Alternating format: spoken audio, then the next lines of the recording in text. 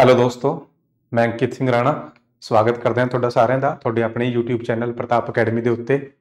ਤੇ ਪ੍ਰਤਾਪੀ MCQ series ਆਪਾਂ ਨੇ ਸ਼ੁਰੂ ਕਰੀ ਹੋਈ ਹੈ ਬਈ, ਪੰਜਾਬ ਦੇ 2023 ਦੇ ਵਿੱਚ। ਜਿੰਨੇ ਵੀ ਐਗਜ਼ਾਮ ਆਣੇ ਆ ਸਾਰਿਆਂ ਵਾਸਤੇ ਆਪਾਂ ਮਿਕਸ ਜੀਕੇ ਕੁਐਸਚਨ ਕਰ ਰਹੇ ਹਾਂ 30 ਕੁਐਸਚਨ ਪਰ ਡੇ ਇਸ ਵੀਡੀਓ ਸੀਰੀਜ਼ ਦੇ ਵਿੱਚ ਆਪਾਂ ਕਵਰ ਕਰ ਰਹੇ ਹਾਂ ਤੇ ਉਹ ਕੁਐਸਚਨ ਵੀ ਜਿਹੜੇ ਕਿ ਪ੍ਰੀਵੀਅਸ ਈਅਰ ਹੈਗੇ ਆ ਇੰਡੀਆ ਦੇ ਅਲੱਗ-ਅਲੱਗ ਐਗਜ਼ਾਮਸ ਦੇ ਵਿੱਚ ਆਏ ਹੋਏ। ਠੀਕ ਹੈ? ਤੇ ਕੱਲ ਪਹਿਲਾ ਪਾਰਟ ਹੋ ਚੁੱਕਿਆ ਵੀਡੀਓ ਦਾ। ਬਹੁਤ ਪਿਆਰ ਤੁਸੀਂ ਵੀਡੀਓ ਨੂੰ ਦਿਆ, ਠੀਕ ਹੈ? ਤੇ ਹੁਣ ਆਪਾਂ ਇਹ ਵੀਡੀਓ ਸੀਰੀਜ਼ ਕੰਟੀਨਿਊ ਕਰਾਂਗੇ ਬਈ। ਲਗਭਗ 30 40 ਵੀਡੀਓਸ ਲਗਾਤਾਰ ਤੁਹਾਨੂੰ ਮਿਲਣਗੀਆਂ, ਠੀਕ ਹੈ? ਤੇ ਆਪਾਂ ਸ਼ੁਰੂ ਕਰਦੇ ਹਾਂ ਭਾਗ ਦੂਜਾ। ਸਿੱਧੀ ਜੀ ਗੱਲ ਹੈ, ਠੀਕ ਹੈ? ਹਾਂਜੀ। ਉਸ ਤੋਂ ਪਹਿਲਾਂ ਵੀਡੀਓ ਦੀ ਪੀਡੀਐਫ ਵਗੈਰਾ ਤੁਹਾਨੂੰ ਸਾਰੀ ਪ੍ਰਤਾਪ ਅਕੈਡਮੀ ਦੇ ਇੰਸਟਾਗ੍ਰam ਅਕਾਊਂਟ ਤੇ ਵੀ ਤੇ ਪ੍ਰਤਾਪ ਅਕੈਡਮੀ ਦੇ ਟੈਲੀਗ੍ਰam ਅਕਾਊਂਟ ਤੇ ਵੀ ਮਿਲ ਜਾਂਦੀ ਹੈ, ਠੀਕ ਹੈ? ਜੇ ਸਟੂਡੈਂਟ ਤੁਸੀਂ ਨਏ ਹੋ, ਤਾਂ ਟੈਲੀਗ੍ਰam ਨਾਲ ਜੁੜ ਸਕਦੇ ਹੋ, ਜੇ ਟੈਲੀਗ੍ਰam ਯੂਜ਼ ਕਰਦੇ ਹੋ, ਉੱਥੇ ਤੁਹਾਨੂੰ ਪ੍ਰਤਾਪ ਅਕੈਡਮੀ ਦਾ ਜੋ ਚੈਨਲ ਹੈ, ਉਹ ਜੁਆਇਨ ਕਰ ਲਿਓ। ਵੀਡੀਓ ਦੇ ਲਿੰਕ ਵੀ, ਕਲਾਸਾਂ ਦੇ ਲਿੰਕ ਵੀ ਤੇ ਪੀਡੀਐਫ ਵੀ ਉੱਥੇ ਪ੍ਰੋਵਾਈਡ ਹੋ ਜਾਏਗੀ, ਠੀਕ ਹੈ? ਕੋਈ ਗੱਲ, ਕੋਈ ਕੁਐਰੀ ਕੋਈ ਡਾਊਟ ਕੁਛ ਹੈਗਾ ਆ, ਮੈਨੂੰ ਮੈਸੇਜ ਕਰ ਸਕਦੇ ਹੋ, ਜੇ ਇੰਸਟਾਗ੍ਰam ਯੂਜ਼ ਕਰਦੇ ਹੋ, ਜੇ ਇੰਸਟਾਗ੍ਰam ਨਹੀਂ ਯੂਜ਼ ਕਰਦੇ, ਤਾਂ ਇਹ ਅਕੈਡਮੀ ਦੇ ਨੰਬਰ ਹੈਗੇ ਆ। ਇੱਥੇ ਕਾਲ ਜਾਂ WhatsApp ਜੋ ਤੁਸੀਂ ਕਰਨਾ ਚਾਹੁੰਦੇ ਹੋ, ਕਰ ਸਕਦੇ ਹੋ, ਠੀਕ ਹੈ? ਐਂਡਰੋਇਡ ਐਪ ਆਪਣੀ ਹੈਗੀ ਹੈ ਬਈ। ਪਲੇ ਸਟੋਰ ਦੇ ਉੱਤੇ ਪ੍ਰਤਾਪ ਅਕੈਡਮੀ ਦੇ ਨਾਂ ਤੋਂ ਹੈਗੀ ਹੈ, ਇਹ ਡਾਊਨਲੋਡ ਕਰ ਸਕਦੇ ਹੋ। ਜੇ ਆਈਫੋਨ ਯੂਜ਼ ਕਰਦੇ ਹੋ, ਤਾਂ ਮਾਈ ਇੰਸਟੀਚਿਊਟ ਦੇ ਨਾਂ ਤੋਂ ਇਹ ਵਾਲੀ ਐਪ ਹੈ, ਇਹ ਡਾਊਨਲੋਡ ਕਰ ਸਕਦੇ ਹੋ। ਠੀਕ ਹੈ? ਓਕੇ ਹੁਣ ਆਪਾਂ ਕੁਐਸਚਨ ਸਟਾਰਟ ਕਰਦੇ ਹਾਂ। ਹਾਂਜੀ, ਆਪਣਾ ਪਹਿਲਾ ਕੁਐਸਚਨ ਕੀ ਹੈ? ਦੇਖੋ, ਵਿੱਚ ਵਿੱਚ ਮੈਂ ਕੁਐਸਚਨ ਥੋੜੇ ਜਿਹੇ ਕਰੰਟ ਅਫੇਅਰ ਵਾਲੇ ਵੀ ਐਡ ਕਰੇ। ਤਾਂ ਕੁਐਸਚਨ ਹੈ ਜੀ, ਕੇਂਦਰੀ ਬਜਟ ਜਿਹੜਾ ਆਇਆ ਸੀਗਾ 2021-22 ਵਾਲਾ, ਠੀਕ ਹੈ? ਉਹਦੇ ਵਿੱਚ ਸਿਹਤ ਅਤੇ ਤੰਦਰੁਸਤੀ ਲਈ ਠੀਕ ਹੈ ਨਾ? ਸਿਹਤ ਅਤੇ ਤੰਦਰੁਸਤੀ ਯਾਨੀ ਹੈਲਥ ਦੀ ਗੱਲ ਹੋ ਰਹੀ ਹੈ। ਵਾਸਤੇ ਜੋ ਵੀ ਅਲੋਟਮੈਂਟ ਹੋਈ ਹੈ ਪੈਸੇ ਦੀ, ਉਹ ਪਿਛਲੇ ਸਾਲ ਨਾਲੋਂ ਕਿੰਨੇ ਪਰਸੈਂਟ ਜ਼ਿਆਦਾ? ਉਹਦੇ ਚ ਕਿੰਨੇ ਪਰਸੈਂਟ ਦਾ ਵਾਧਾ ਕੀਤਾ ਗਿਆ? ਇਹ ਕੁਐਸਚਨ ਹੈ ਤੇ ਇਹ ਕੁਐਸਚਨ ਆਲਰੇਡੀ ਪੁੱਛਿਆ ਜਾ ਚੁੱਕਿਆ ਹੈ ਪੇਪਰ ਦੇ ਵਿੱਚ। ਠੀਕ ਹੈ? ਇਹਦਾ ਰਾਈਟ ਆਨਸਰ ਹੈ 137% ਠੀਕ ਹੈ? ਜੋ ਵੀ ਰਕਮ ਲਾਸਟ ਟਾਈਮ ਅਲਾਉਂਸ ਅਲਾਊਟ ਹੋਈ ਸੀਗੀ, ਠੀਕ ਹੈ ਹੈਲਥ ਵਾਸਤੇ, ਉਹਦੇ ਵਿੱਚ 137% ਦਾ ਵਾਧਾ ਜਿਹੜਾ ਉਹ ਕਰਿਆ ਗਿਆ ਗਵਰਨਮੈਂਟ ਦੁਆਰਾ ਲਾ- ਇਹਦੇ ਬਜਟ ਦੇ ਵਿੱਚ, ਜਿਹੜਾ ਸੈਂਟਰਲ ਬਜਟ ਆਇਆ ਸੀਗਾ 2021-22 ਵਾਲਾ। ਠੀਕ। ਉਸ ਤੋਂ ਬਾਅਦ ਕਈ ਵਾਰ ਇੰਨੇ ਪੁਰਾਣੇ ਕੁਐਸਚਨ ਆ ਜਾਂਦੇ ਆ, ਇਹ ਨਾ ਸੋਚਿਓ ਕਿ 21-22 ਵਾਲੇ ਬਜਟ ਦੀ ਗੱਲ ਹੋ ਰਹੀ ਹੈ, ਠੀਕ ਹੈ? ਪੁੱਛੇ ਜਾਂਦੇ ਆ ਬਾਈ, ਠੀਕ ਹੈ? ਉਸ ਤੋਂ ਬਾਅਦ ਫੈਸਟੀਵਲ ਦੇ ਉੱਤੇ ਕੁਐਸਚਨ ਹੈ ਜੀ। ਨਿਕੋਬਾਰ ਟਾਪੂ, ਯਾਨੀ ਅੰਡੋਮਾਨ ਨਿਕੋਬਾਰ ਦਾ ਜਿਹੜਾ ਨਿਕੋਬਾਰ ਟਾਪੂ ਹੈਗਾ, ਉਹਦੇ ਤੇ ਕੋਈ ਕਬੀਲਾ ਹੈ, ਠੀਕ ਹੈ? ਉਹ ਡੈਸ਼ ਦੌਰਾਨ ਡੈਸ਼ ਦੌਰਾਨ ਪਰਿਵਾਰ ਦੇ ਮੁਖੀ ਦੀ ਵਿਛੜੀ ਰੂਹ ਨੂੰ ਸ਼ਰਧਾਂਜਲੀ ਦਿੰਦੇ ਹਨ। ਯਾਨੀ ਉਹਨਾਂ ਦੇ ਜਿਹੜੇ ਪਰਿਵਾਰ ਦੇ ਲੋਕਾਂ ਦੀ ਡੈਥ ਹੋ ਚੁੱਕੀ ਹੈ, ਹਨਾ? ਉਹਨਾਂ ਨੂੰ ਉਹ ਸ਼ਰਧਾਂਜਲੀ ਦਿੰਦੇ ਆ ਇੱਕ ਫੈਸਟੀਵਲ ਦੇ ਦੌਰਾਨ। ਉਸ ਫੈਸਟੀਵਲ ਦਾ ਕੀ ਨਾਮ ਹੈ? ਠੀਕ ਹੈ? ਇਹ ਕਿੱਥੇ ਦਿੰਦੇ ਆ? ਅੰਡੋਮਾਨ ਨਿਕੋਬਾਰ ਦਾ ਜਿਹੜਾ ਨਿਕੋਬਾਰ ਟਾਪੂ ਹੈਗਾ ਉੱਥੇ। ਤਾਂ ਉਹ ਫੈਸਟੀਵਲ ਹੈਗਾ ਜੀ PIG ਪਿਗ ਫੈਸਟੀਵਲ, ਯਾਨੀ ਕਿ ਓਜ਼ਵੇਰੀ ਫੈਸਟੀਵਲ। ਠੀਕ ਹੈ? ਇਸ ਫੈਸਟੀਵਲ ਨੂੰ ਆਪਾਂ ਪਿਗ ਫੈਸਟੀਵਲ ਵੀ ਬੋਲ ਦਿੰਦੇ ਆ। ਨਿਕੋਬਾਰ ਟਾਪੂ ਦੇ ਉੱਤੇ ਮਨਾਇਆ ਜਾਂਦਾ ਹੈ। ਠੀਕ ਹੈ? ਤੇ ਨਿਕੋਬਾਰ ਟਾਪੂ ਦੀ ਜਿਹੜੀ ਰਾਜਧਾਨੀ ਹੈਗੀ ਆ, ਉਹ ਹੈਗੀ ਆ ਪੋਰਟ ਬਲੇਅਰ ਤੇ ਪੋਰਟ ਬਲੇਅਰ ਦੇ ਵਿੱਚ ਜਿਹੜਾ ਇੰਟਰਨੈਸ਼ਨਲ 에ਅਰਪੋਰਟ ਹੈਗਾ ਉਸ ਦਾ ਨਾਮ ਹੈਗਾ ਆ ਵੀਰ ਸਾਵਰਕਰ ਇੰਟਰਨੈਸ਼ਨਲ 에ਅਰਪੋਰਟ ਠੀਕ ਹੈ? ਯਾਦ ਰੱਖਣਾ ਬਾਕੀ ਇਹ ਜਿਹੜੇ ਫੈਸਟੀਵਲ ਹੈ, ਜਿਵੇਂ ਇਹ ਹੋ ਗਿਆ ਜਗਦਾਤਰੀ ਫੈਸਟੀਵਲ ਜਾਂ ਪੂਜਾ, ਇਹ ਪੱਛਮੀ ਬੰਗਾਲ ਦੇ ਵਿੱਚ ਕਰੀ ਜਾਂਦੀ ਹੈ ਬਈ। ਯਾਦ ਰੱਖ ਲਿਓ। ਹਨਾ? ਗੰਜਨ ਫੈਸਟੀਵਲ, ਇਹ ਵੀ ਪੱਛਮੀ ਬੰਗਾਲ ਦੇ ਵਿੱਚ ਮਨਾਇਆ ਜਾਂਦਾ ਹੈ। ਤੇ ਇਹ ਜਿਹੜਾ ਹੈਗਾ ਆ, ਕਲਪਤਰੂ ਉਤਸਵ ਜਿਹੜਾ ਹੈਗਾ, ਇਹ ਰਾਮ ਕ੍ਰਿਸ਼ਨ ਮਿਸ਼ਨ, ਠੀਕ ਹੈ ਨਾ? ਰਾਮ ਕ੍ਰਿਸ਼ਨ ਮਿਸ਼ਨ ਦੇ ਜਿਹੜੇ ਸਾਧੂ ਹੈਗੇ ਆ ਜਿਹੜੇ ਉਸ ਮੱਠ ਦੇ ਵਿੱਚ ਰਹਿੰਦੇ ਆ, ਉਹ ਇਸ ਨੂੰ ਸੈਲੀਬ੍ਰੇਟ ਕਰਦੇ ਆ ਰਾਮ ਕ੍ਰਿਸ਼ਨ ਮਿਸ਼ਨ ਵਾਲੇ, ਠੀਕ ਹੈ? ਤੇ ਇੱਕ ਵੇਦਾਂਤਾ ਸੁਸਾਇਟੀ ਆਪਾਂ ਨੇ ਮਾਡਰਨ ਹਿਸਟਰੀ ਦੇ ਵਿੱਚ ਪੜਿਆ ਨਾ, ਰਾਮਕ੍ਰਿਸ਼ਨ ਮਿਸ਼ਨ ਠੀਕ ਹੈ, ਜੋ- ਜਿਹੜਾ ਕਿ ਸਵਾਮੀ ਵਿਵੇਕਾਨੰਦ ਜੀ ਨੇ ਸ਼ੁਰੂ ਕਰਿਆ ਸੀਗਾ ਵੇਦਾਂਤਾ ਸੁਸਾਇਟੀ ਹੈ ਨਾ, ਇਹਨਾਂ ਦੇ ਜਿਹੜੇ ਫੋਲੋਅਰਸ ਹੈਗੇ ਆ, ਉਹ ਇਸ ਉਤਸਵ ਨੂੰ ਮਨਾਉਂਦੇ ਆ ਵਰਲਡ ਵਾਈਡ ਮਨਾਇਆ ਜਾਂਦਾ ਹੈ। ਜਿੱਥੇ ਵੀ ਉਹਨਾਂ ਦੇ ਫੋਲੋਅਰਸ ਹੈਗੇ ਆ ਮਨਾਣਗੇ ਇਸ ਫੈਸਟੀਵਲ ਨੂੰ ਸਿੰਪਲ ਜੀ ਗੱਲ ਹੈ। ਨੈਕਸਟ ਠੀਕ ਹੈ which of the following statement is are correct ਹੇਠਾਂ ਦਿੱਤੇ ਕਥਨਾਂ ਵਿੱਚੋਂ ਕਿਹੜਾ ਕਥਨ ਸਹੀ ਹੈ? ਯਾਨੀ ਤਿੰਨ ਕਥਨ ਦੇ ਹੋਏ ਆ ਬਈ, ਤੇ ਤਿੰਨੋਂ ਕਥਨ ਜਿਹੜੇ ਹੈਗੇ ਆ ਜੀਡੀਪੀ ਦੇ ਨਾਲ ਸੰਬੰਧਿਤ ਹੈ। ਜੀਡੀਪੀ ਯਾਨੀ ਦੇਸ਼ ਦੀ ਆਪਾਂ ਇਕਨੋਮੀ ਦੀ ਜੀਡੀਪੀ ਕੱਢਦੇ ਆ ਨਾ, ਦੇਸ਼ ਦੀ ਆਪਾਂ ਕੰਟਰੀ ਦੀ ਜੀਡੀਪੀ ਕੱਢਦੇ ਆ ਜਾਂ ਆਪਣੇ ਸਟੇਟਾਂ ਦੀ ਜੀਡੀਪੀ ਕੱਢਦੇ ਆ ਆਪਾਂ, ਹਨਾ? ਗ੍ਰੋਸ ਡੋਮੈਸਟਿਕ ਪ੍ਰੋਡਕਟ ਜੀਡੀਪੀ ਦੀ ਫੁੱਲ ਫਾਰਮ ਕੀ ਹੈ? ਗ੍ਰੋਸ ਡੋਮੈਸਟਿਕ ਪ੍ਰੋਡਕਟ ਤਾਂ ਉਹਦੇ ਨਾਲ ਰਿਲੇਟਡ ਤਿੰਨ ਸਟੇਟਮੈਂਟਾਂ ਦੇਈ ਹੋਈਆਂ ਪਹਿਲੀ ਸਟੇਟਮੈਂਟ ਦੇਖਦੇ ਆਪਾਂ। ਇਹਨਾਂ ਨੇ ਸਹੀ ਪੁੱਛੀ ਹੈ ਨਾ, ਯਾਦ ਰੱਖਣਾ ਹੈ। ਓਨਲੀ ਮਾਰਕੀਟਡ ਗੁੱਡਸ ਗੁੱਡਸ ਮਤਲਬ ਸਮਾਨ ਹੈ ਜਿਹੜਾ ਮਾਰਕੀਟਡ ਸਮਾਨ ਜਿਹੜਾ ਹੈਗਾ ਆ are considered while estimating GDP ਠੀਕ ਹੈ ਜੀਡੀਪੀ ਕਾਊਂਟ ਕਰਦੇ ਟਾਈਮ ਮਾਰਕੀਟ ਗੁੱਡਸ ਜਿਹੜੀ ਹੈਗੀ ਹੈ ਉਹੀ ਕਾਊਂਟ ਕਰੀ ਜਾਂਦੀ ਹੈ ਬਿਲਕੁਲ ਸਹੀ ਹੈ ਠੀਕ ਹੈ ਜੀ। The work done by a woman at their home at her home is outside the uh, purview of GDP ਮਤਲਬ ਜਿਹੜੀ ਔਮਨਸ ਹੈਗੀਆਂ ਘਰਾਂ ਦੇ ਵਿੱਚ ਕੰਮ ਕਰਦੀਆਂ ਉਹਨਾਂ ਨੂੰ ਜੀਡੀਪੀ ਤੋਂ ਅਲੱਗ ਰੱਖਿਆ ਜਾਂਦਾ ਹੈ। ਬਿਲਕੁਲ ਸਹੀ ਹੈ ਇਹ ਪੁਆਇੰਟ ਵੀ ਠੀਕ ਹੈ। ਘਰ ਦੇ ਵਿੱਚ ਔਮਨ ਜਿੰਨਾ ਮਰਜ਼ੀ ਕੰਮ ਕਰ ਲੇ ਉਹ ਜੀਡੀਪੀ ਚ ਕਾਊਂਟ ਨਹੀਂ ਹੁੰਦਾ। ਉਸ ਤੋਂ ਬਾਅਦ in estimating GDP only final goods ਠੀਕ ਹੈ ਜੀ, ਤੇ ਸਰਵਿਸਿਜ਼ ਦੋਨੇ ਕਾਊਂਟ ਕਰੀ ਜਾਂਦੀ ਹੈ, ਹਾਂਜੀ। ਫਾਈਨਲ ਗੁੱਡਸ ਵੀ ਤੇ ਸਰਵਿਸਿਜ਼ ਵੀ, ਜੋ ਵੀ ਸਰਵਿਸ ਪ੍ਰੋਵਾਈਡ ਹੋਈ, ਹੋ ਰਹੀ ਹੈ ਤੁਹਾਨੂੰ, ਠੀਕ ਹੈ ਨਾ ਜੋਮੈਟੋ ਵਗੈਰਾ ਜਾਂ ਹਸਪੀਟਲਸ ਤੋਂ ਜਾਂ ਐਜੂਕੇਸ਼ਨ ਮਤਲਬ ਜਿੰਨੀ ਵੀ ਤਰ੍ਹਾਂ ਦੀ ਤੁਹਾਨੂੰ ਸਰਵਿਸ ਮਿਲਦੀ ਹੈ, ਉਹ ਵੀ ਜੀਡੀਪੀ ਦੇ ਵਿੱਚ ਕਾਊਂਟ ਹੁੰਦੀ ਹੈ। ਤਾਂ ਇਹ ਤਿੰਨੇ ਸਟੇਟਮੈਂਟ ਕੀ ਹੋਗੀ ਸਹੀ ਹੋਗੀ ਫਿਰ option number B right answer ਹੋ ਗਿਆ, ਠੀਕ ਹੈ 1 2 ਐਂਡ 3 ਓਕੇ ਯਾਦ ਰੱਖਣਾ ਹੈ। ਨੈਕਸਟ ਪ੍ਰਾਚੀਨ ਭਾਰਤ ਵਿੱਚ ਇੱਕ ਮਹੱਤਵਪੂਰਨ ਬੰਦਰਗਾਹ ਵਾਲਾ ਸ਼ਹਿਰ ਸੀ। ਡੈਸ਼ ਹੈ ਨਾ ਕੌਣ ਸੀਗਾ ਬਈ? ਤਾਂ ਇਹ ਆਪਸ਼ਨ ਤੁਸੀਂ ਦੇਖ ਸਕਦੇ ਹੋ। ਸਮੁੰਦਰ ਦੇ ਕਿਨਾਰੇ ਇਹਨਾਂ ਵਿੱਚੋਂ ਸਿਰਫ ਇੱਕ ਹੈਗਾ ਆ ਤਾਮਰਲਿਪਤੀ ਇਹ ਕੁਐਸਚਨ ਆਪਸ਼ਨ ਤੇ ਡਿਪੈਂਡ ਕਰਦਾ ਹੈ। ਬੰਦਰਗਾਹ ਤਾਂ ਪ੍ਰਾਚੀਨ ਭਾਰਤ ਦੇ ਵਿੱਚ ਬਹੁਤ ਸਾਰੇ ਸੀਗੇ। ਲੋਥਲ ਵੀ ਸੀਗਾ, ਠੀਕ ਹੈ ਨਾ? ਲੋਥਲ ਵੀ ਸੀਗਾ ਤੇ ਸਾਊਥ ਦੇ ਵਿੱਚ ਮੁਜਰਿਸ ਹੋ ਗਿਆ, ਟੋਡੀ ਹੋ ਗਿਆ ਇਦਾਂ ਕਰ ਇਦਾਂ ਕਰਕੇ ਬਹੁਤ ਸਾਰੇ ਬੰਦਰਗਾਹ ਸੀਗੇ। ਇਹ ਕੁਐਸਚਨ ਹਮੇਸ਼ਾ ਆਪਸ਼ਨ ਤੇ ਡਿਪੈਂਡ ਕਰਦਾ ਹੈ, ਠੀਕ ਹੈ? ਤਾਂ ਇੱਥੇ ਆਪਸ਼ਨ ਦੇ ਵਿੱਚ ਸਿਰਫ ਤਾਮਰਲਿਪਤੀ ਹੈ ਜਿਹੜਾ ਸਮੁੰਦਰ ਦੇ ਕਿਨਾਰੇ ਹੈ ਤੇ ਪ੍ਰਾਚੀਨ ਟਾਈਮ ਦੇ ਵਿੱਚ ਬੰਦਰਗਾਹ ਸੀਗਾ। ਕਿੱਥੇ ਹੈ ਅੱਜਕੱਲ ਅੱਜਕੱਲ ਵੈਸਟ ਬੰਗਾਲ ਦੇ ਵਿੱਚ ਹੈ। ਤੇ ਇਹਨੂੰ ਆਪਾਂ ਬੋਲਦੇ ਹਾਂ ਤਾਮਲੁਕ ਇਹ ਨਾਮ ਤੁਸੀਂ ਸੁਣਿਆ ਹੋਣਾ। ਤਾਮਲੁਕ ਠੀਕ ਹੈ? ਯਾਦ ਰੱਖ ਲੈਣਾ। ਇਹ ਪ੍ਰਾਚੀਨ ਟਾਈਮ ਦਾ ਬੰਦਰਗਾਹ ਸੀਗਾ। ਗੁਪਤ ਵੰਸ਼ ਦੇ ਟਾਈਮ ਦੇ ਵਿੱਚ ਵੀ ਤੇ ਮੌਰਿਆਸ ਦੇ ਟਾਈਮ ਦੇ ਵਿੱਚ ਵੀ ਇਹ ਬੰਦਰਗਾਹ ਰਿਹਾ। ਤੇ ਇਹਦੇ ਵਿੱਚ ਤੁਸੀਂ ਹੋਰ ਕੀ ਯਾਦ ਰੱਖ ਸਕਦੇ ਹੋ? ਸ਼ਰਾਵਸਤੀ ਸ਼ਹਿਰ ਨੂੰ ਯਾਦ ਰੱਖ ਸਕਦੇ ਹੋ ਤੁਸੀਂ? ਸ਼ਰਾਵਸਤੀ ਸ਼ਹਿਰ ਜਿਹੜਾ ਹੈਗਾ ਬਈ ਇਹ ਪ੍ਰਾਚੀਨ ਟਾਈਮ ਦੇ ਵਿੱਚ ਜਿ- ਜਿਨ- ਜਿਵੇਂ ਤੁਸੀਂ ਪੜਿਆ ਹੈ ਨਾ ਐਂਸ਼ੀਅੰਟ ਹਿਸਟਰੀ ਦੇ ਵਿੱਚ ਮਹਾਜਨਪਦਾਂ ਹੁੰਦੀ ਸੀ, ਜਨਪਦਾਂ ਹੁੰਦੀ ਸੀ ਹੈ ਨਾ 16 ਮਹਾਜਨਪਦ ਹੁੰਦੀ ਸੀਗੀ। ਤਾਂ ਸ਼ਰਾਵਸਤੀ ਕੋਸਲ ਮਹਾਜਨਪਦ ਦੀ ਰਾਜਧਾਨੀ ਸੀਗੀ ਕੋਸਲ ਦੀ। ਠੀਕ ਹੈ? ਕੋਸਲ ਵਾਲਿਆਂ ਦੀ ਰਾਜਧਾਨੀ ਸੀਗੀ, ਜਾਂ ਤੁਸੀਂ ਯਾਦ ਰੱਖ ਸਕਦੇ ਹੋ ਕਿ ਕੋਸਲ ਸਾਮਰਾਜ ਦੀ ਰਾਜਧਾਨੀ ਸੀਗੀ ਸ਼ਰਾਵਸਤੀ, ਤੇ ਸ਼ਰਾਵਸਤੀ ਬਾਰੇ ਇੱਕ ਪੁਆਇੰਟ ਯਾਦ ਰੱਖਣ ਵਾਲਾ ਇਹ ਹੈਗਾ ਬਈ ਗੌਤਮ ਬੁੱਧ ਨੇ, ਹਨੀ ਲੋਰਡ ਬੁੱਧਾ ਮਹਾਤਮਾ ਬੁੱਧ ਨੇ ਜਿਹੜੇ ਸਭ ਤੋਂ ਜ਼ਿਆਦਾ ਉਪਦੇਸ਼ ਦਏ ਹੈ ਜਾਂ ਆਪਣੀ ਲਾਈਫ ਸਪੈਂਡ ਕਰੀ ਹੈ, ਗਿਆਨ ਦੀ ਪ੍ਰਾਪਤੀ ਤੋਂ ਬਾਅਦ, ਗਿਆਨ ਦੀ ਪ੍ਰਾਪਤੀ ਤੋਂ ਬਾਅਦ ਉਹ ਸ਼ਰਾਵਸਤੀ ਦੇ ਵਿੱਚ ਹੀ ਕਰੀ ਹੈ। ਤਾਂ ਯਾਦ ਰੱਖਣਾ ਹੈ, ਗੌਤਮ ਬੁੱਧ ਨੇ ਸਭ ਤੋਂ ਜ਼ਿਆਦਾ ਉਪਦੇਸ਼ ਕਿੱਥੇ ਦਏ ਹੈ ਸ਼ਰਾਵਸਤੀ ਦੇ ਵਿੱਚ ਦਏ ਹੈ ਠੀਕ ਹੈ? ਨੈਕਸਟ ਸੁਤੰਤਰ ਭਾਰਤ ਵਿੱਚ ਹੇਠ ਲਿਖਿਆਂ ਵਿੱਚੋਂ ਪਹਿਲੀ ਮਹਿਲਾ ਕਲਾਸੀਕਲ ਡਾਂਸਰ ਕਲਾਸੀਕਲ ਅੰਗਰੇਜ਼ੀ ਦਾ ਵਰਡ ਹੋ ਗਿਆ। ਹਿੰਦੀ ਦੇ ਵਿੱਚ ਇਹ ਸ਼ਾਸਤਰੀ ਸ਼ਾਸਤਰੀय ਨ੍ਰਿਤ ਕਿਆ ਆਊਗਾ ਇਹਨੂੰ, ਠੀਕ ਹੈ ਨਾ? ਮਤਲਬ ਸ਼ਾਸਤਰੀय ਨਾਚ ਕਰਨ ਵਾਲੀ, ਠੀਕ ਹੈ? ਕਲਾਸੀਕਲ ਡਾਂਸਰ ਕੌਣ ਸੀ? ਜਿਸ ਨੂੰ ਰਾਜ ਸਭਾ ਲਈ ਮੈਂਬਰ ਵਜੋਂ ਨਾਮਜ਼ਦ ਯਾਨੀ ਨੋਮੀਨੇਟ ਕੀਤਾ ਗਿਆ ਸੀਗਾ। ਦੇਖੋ, ਤੁਹਾਨੂੰ ਪਤਾ ਹੈ, ਆਪਣੇ ਰਾਜ ਸਭਾ ਤੇ ਲੋਕ ਸਭਾ, ਹਨਾ? ਰਾਜ ਸਭਾ ਦੇ ਵਿੱਚ ਰਾਸ਼ਟਰਪਤੀ ਕੋਲ ਪਾਵਰ ਹੁੰਦੀ ਹੈ ਕਿ ਉਹ ਰਾਜ ਸਭਾ ਦੇ ਵਿੱਚ ਕਿੰਨੇ ਬੰਦੇ ਨੋਮੀਨੇਟ ਕਰ ਸਕਦਾ ਹੈ? 12 ਬੰਦੇ ਨੋਮੀਨੇਟ ਕਰ ਸਕਦਾ ਹੈ। ਕਿੰਨੇ ਬੰਦੇ? 12 ਬੰਦੇ ਨੋਮੀਨੇਟ ਕਰ ਸਕਦਾ ਹੈ। ਕੌਣ? ਭਾਰਤ ਦਾ ਰਾਸ਼ਟਰਪਤੀ ਰਾਜ ਸਭਾ ਦੇ ਵਿੱਚ, ਠੀਕ ਹੈ, ਚਾਰ ਅਲੱਗ-ਅਲੱਗ ਫੀਲਡਸ ਤੋਂ। ਤਾਂ ਕਲਾਸੀਕਲ ਡਾਂਸਰ ਪਹਿਲੀ ਕਲਾਸੀਕਲ ਡਾਂਸਰ ਕੌਣ ਹੋਈ ਹੈ, ਜਿਹਨੂੰ ਨੋਮੀਨੇਟ ਕਰਿਆ ਸੀਗਾ? ਤਾਂ ਇਹਦਾ ਰਾਈਟ ਆਨਸਰ ਹੈਗਾ ਬਈ ਰੁਕਮਣੀ ਦੇਵੀ। ਕੌਣ ਹੈ? ਰੁਕਮਣੀ ਦੇਵੀ। ਜੇ ਡਾਂਸਰ ਹੈ ਕਲਾਸੀਕਲ ਡਾਂਸਰ ਹੈ, ਸ਼ਾਸਤਰੀ ਹੈ, ਨ੍ਰਿਤ ਕਰਦੀ ਹੈ, ਤਾਂ ਨੋਰਮਲ ਜੀ ਗੱਲ ਹੈ, ਫਿਰ ਤੁਹਾਨੂੰ ਡਾਂਸ ਵੀ ਯਾਦ ਰੱਖਣਾ ਪੈਣਾ ਇਹਦਾ। ਹਨਾ, ਕਈ ਵਾਰ ਆ ਜਾਂਦਾ ਹੈ ਕੁਐਸਚਨ ਕਿ ਰੁਕਮਣੀ ਦੇਵੀ ਨੂੰ ਰਾਜ ਸਭਾ ਦੇ ਵਿੱਚ ਨੋਮੀਨੇਟ ਕਰਿਆ ਗਿਆ ਸੀ 1952 ਦੀ ਗੱਲ ਹੈ। 1952 ਚ ਕਰਿਆ ਗਿਆ ਪਹਿਲਾਂ, ਫਿਰ 1956 ਚ। ਹਾਲਾਂਕਿ ਇਹ ਤਾਂ ਬਹੁਤ ਘੱਟ ਪੁੱਛਿਆ ਜਾਂਦਾ ਚਲੋ ਕੋਈ ਨਹੀਂ 1952 ਤੁਸੀਂ ਯਾਦ ਰੱਖ ਲਿਓ। 1952 ਦੇ ਵਿੱਚ ਇਹਨਾਂ ਨੂੰ ਨੋਮੀਨੇਟ ਕਰਿਆ ਗਿਆ ਸੀ, ਤਾਂ ਇਹ ਕਿਹੜੇ ਡਾਂਸ ਨਾਲ ਸੰਬੰਧਿਤ ਹੈ? ਠੀਕ ਹੈ ਨਾ? ਇਹ ਦੱਸਣਾ ਤੁਸੀਂ, ਕਿਹੜੇ ਡਾਂਸ ਨਾਲ ਸੰਬੰਧਿਤ ਹੈ? ਕਈ ਵਾਰ ਆ ਜਾਂਦਾ ਹੈ ਤਾਂ ਇਹਦਾ ਰਾਈਟ ਆਨਸਰ ਹੋ ਜਾਊਗਾ ਭਰਤਨਾਟਿਅਮ। ਭਰਤਨਾਟਿਅਮ। ਤੇ ਭਰਤਨਾਟਿਅਮ ਕਿੱਥੇ ਕਰਿਆ ਜਾਂਦਾ ਹੈ ਬਈ? ਭਰਤਨਾਟਿਅਮ ਕਰਿਆ ਜਾਂਦਾ ਹੈ ਤਾਮਿਲਨਾਡੂ ਦੇ ਵਿੱਚ। ਠੀਕ ਹੈ, ਭਰਤਨਾਟਿਅਮ ਕਿੱਥੇ ਕਰਿਆ ਜਾਂਦਾ ਹੈ? ਤਾਮਿਲਨਾਡੂ ਦੇ ਵਿੱਚ ਕਰਿਆ ਜਾਂਦਾ ਹੈ। ਠੀਕ ਹੈ। ਨੈਕਸਟ ਆ ਜਾਓ। ਕਿਸ ਫਰਾਂਸੀਸੀ ਰਸਾਇਣ ਵਿਗਿਆਨੀ ਨੇ 1806 ਵਿੱਚ ਆਪਣੇ ਪ੍ਰਯੋਗ ਦਾ ਸਾਰ ਦਿੱਤਾ? ਮਤਲਬ ਉਹਨਾਂ ਨੇ ਕੋਈ ਐਸਟੀ ਆਪਣਾ ਕੋਈ ਐਕਸਪੈਰੀਮੈਂਟ ਕਰਿਆ ਹੋਣਾ। ਉਹਦੇ ਚ ਉਹਨਾਂ ਨੇ ਇਹ ਰਿਜ਼ਲਟ ਦਿਆ ਬਈ, ਕੀ ਰਿਜ਼ਲਟ ਦਿਆ?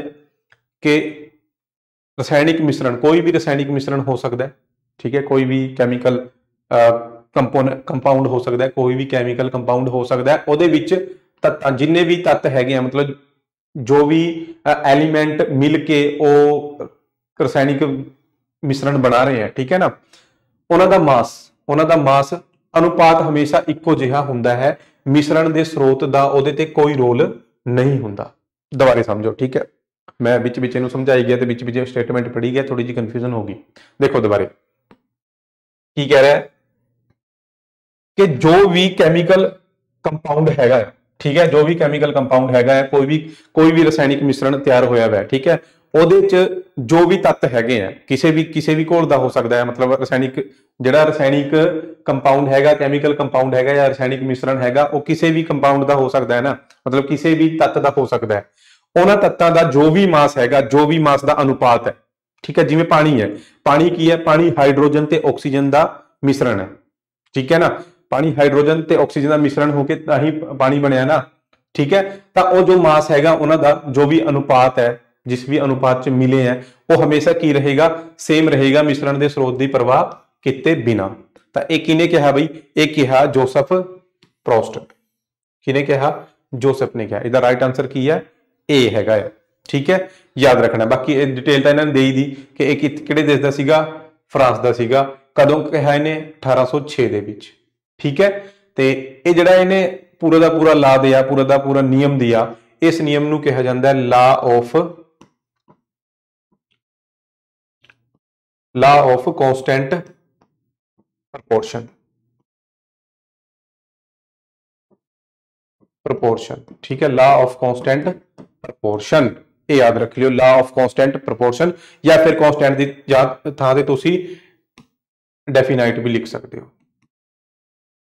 ਡੈਫੀਨਾਈਟ ਪ੍ਰਪੋਰਸ਼ਨ ਠੀਕ ਹੈ? ਵੈਸੇ ਕਨਸਟੈਂਟ ਠੀਕ ਹੈ ਵਰਡ ਦੋਨੇ ਚੱਲ ਜੂਗੇ ਮਤਲਬ ਲਾ ਆਫ ਕਨਸਟੈਂਟ ਪ੍ਰਪੋਰਸ਼ਨ ਜਾਂ ਲਾ ਆਫ ਡਿਫਾਈਨਾਈਟ ਪ੍ਰਪੋਰਸ਼ਨ ਨੈਕਸਟ ਆ ਜਾਓ ਭਾਰਤੀ ਸੰਵਿਧਾਨ ਦਾ ਅਨੁਛੇਦ ਜੋ ਰਾਜਪਾਲ ਦੀਆਂ ਸਾਰੀ ਕਾਰਜਕਾਰੀਆਂ ਸ਼ਕਤੀਆਂ ਨਾਲ ਸੰਬੰਧਿਤ ਹੈ, ਭਾਰਤ ਦਾ ਸੰਵਿਧਾਨ ਠੀਕ ਹੈ ਜੀ।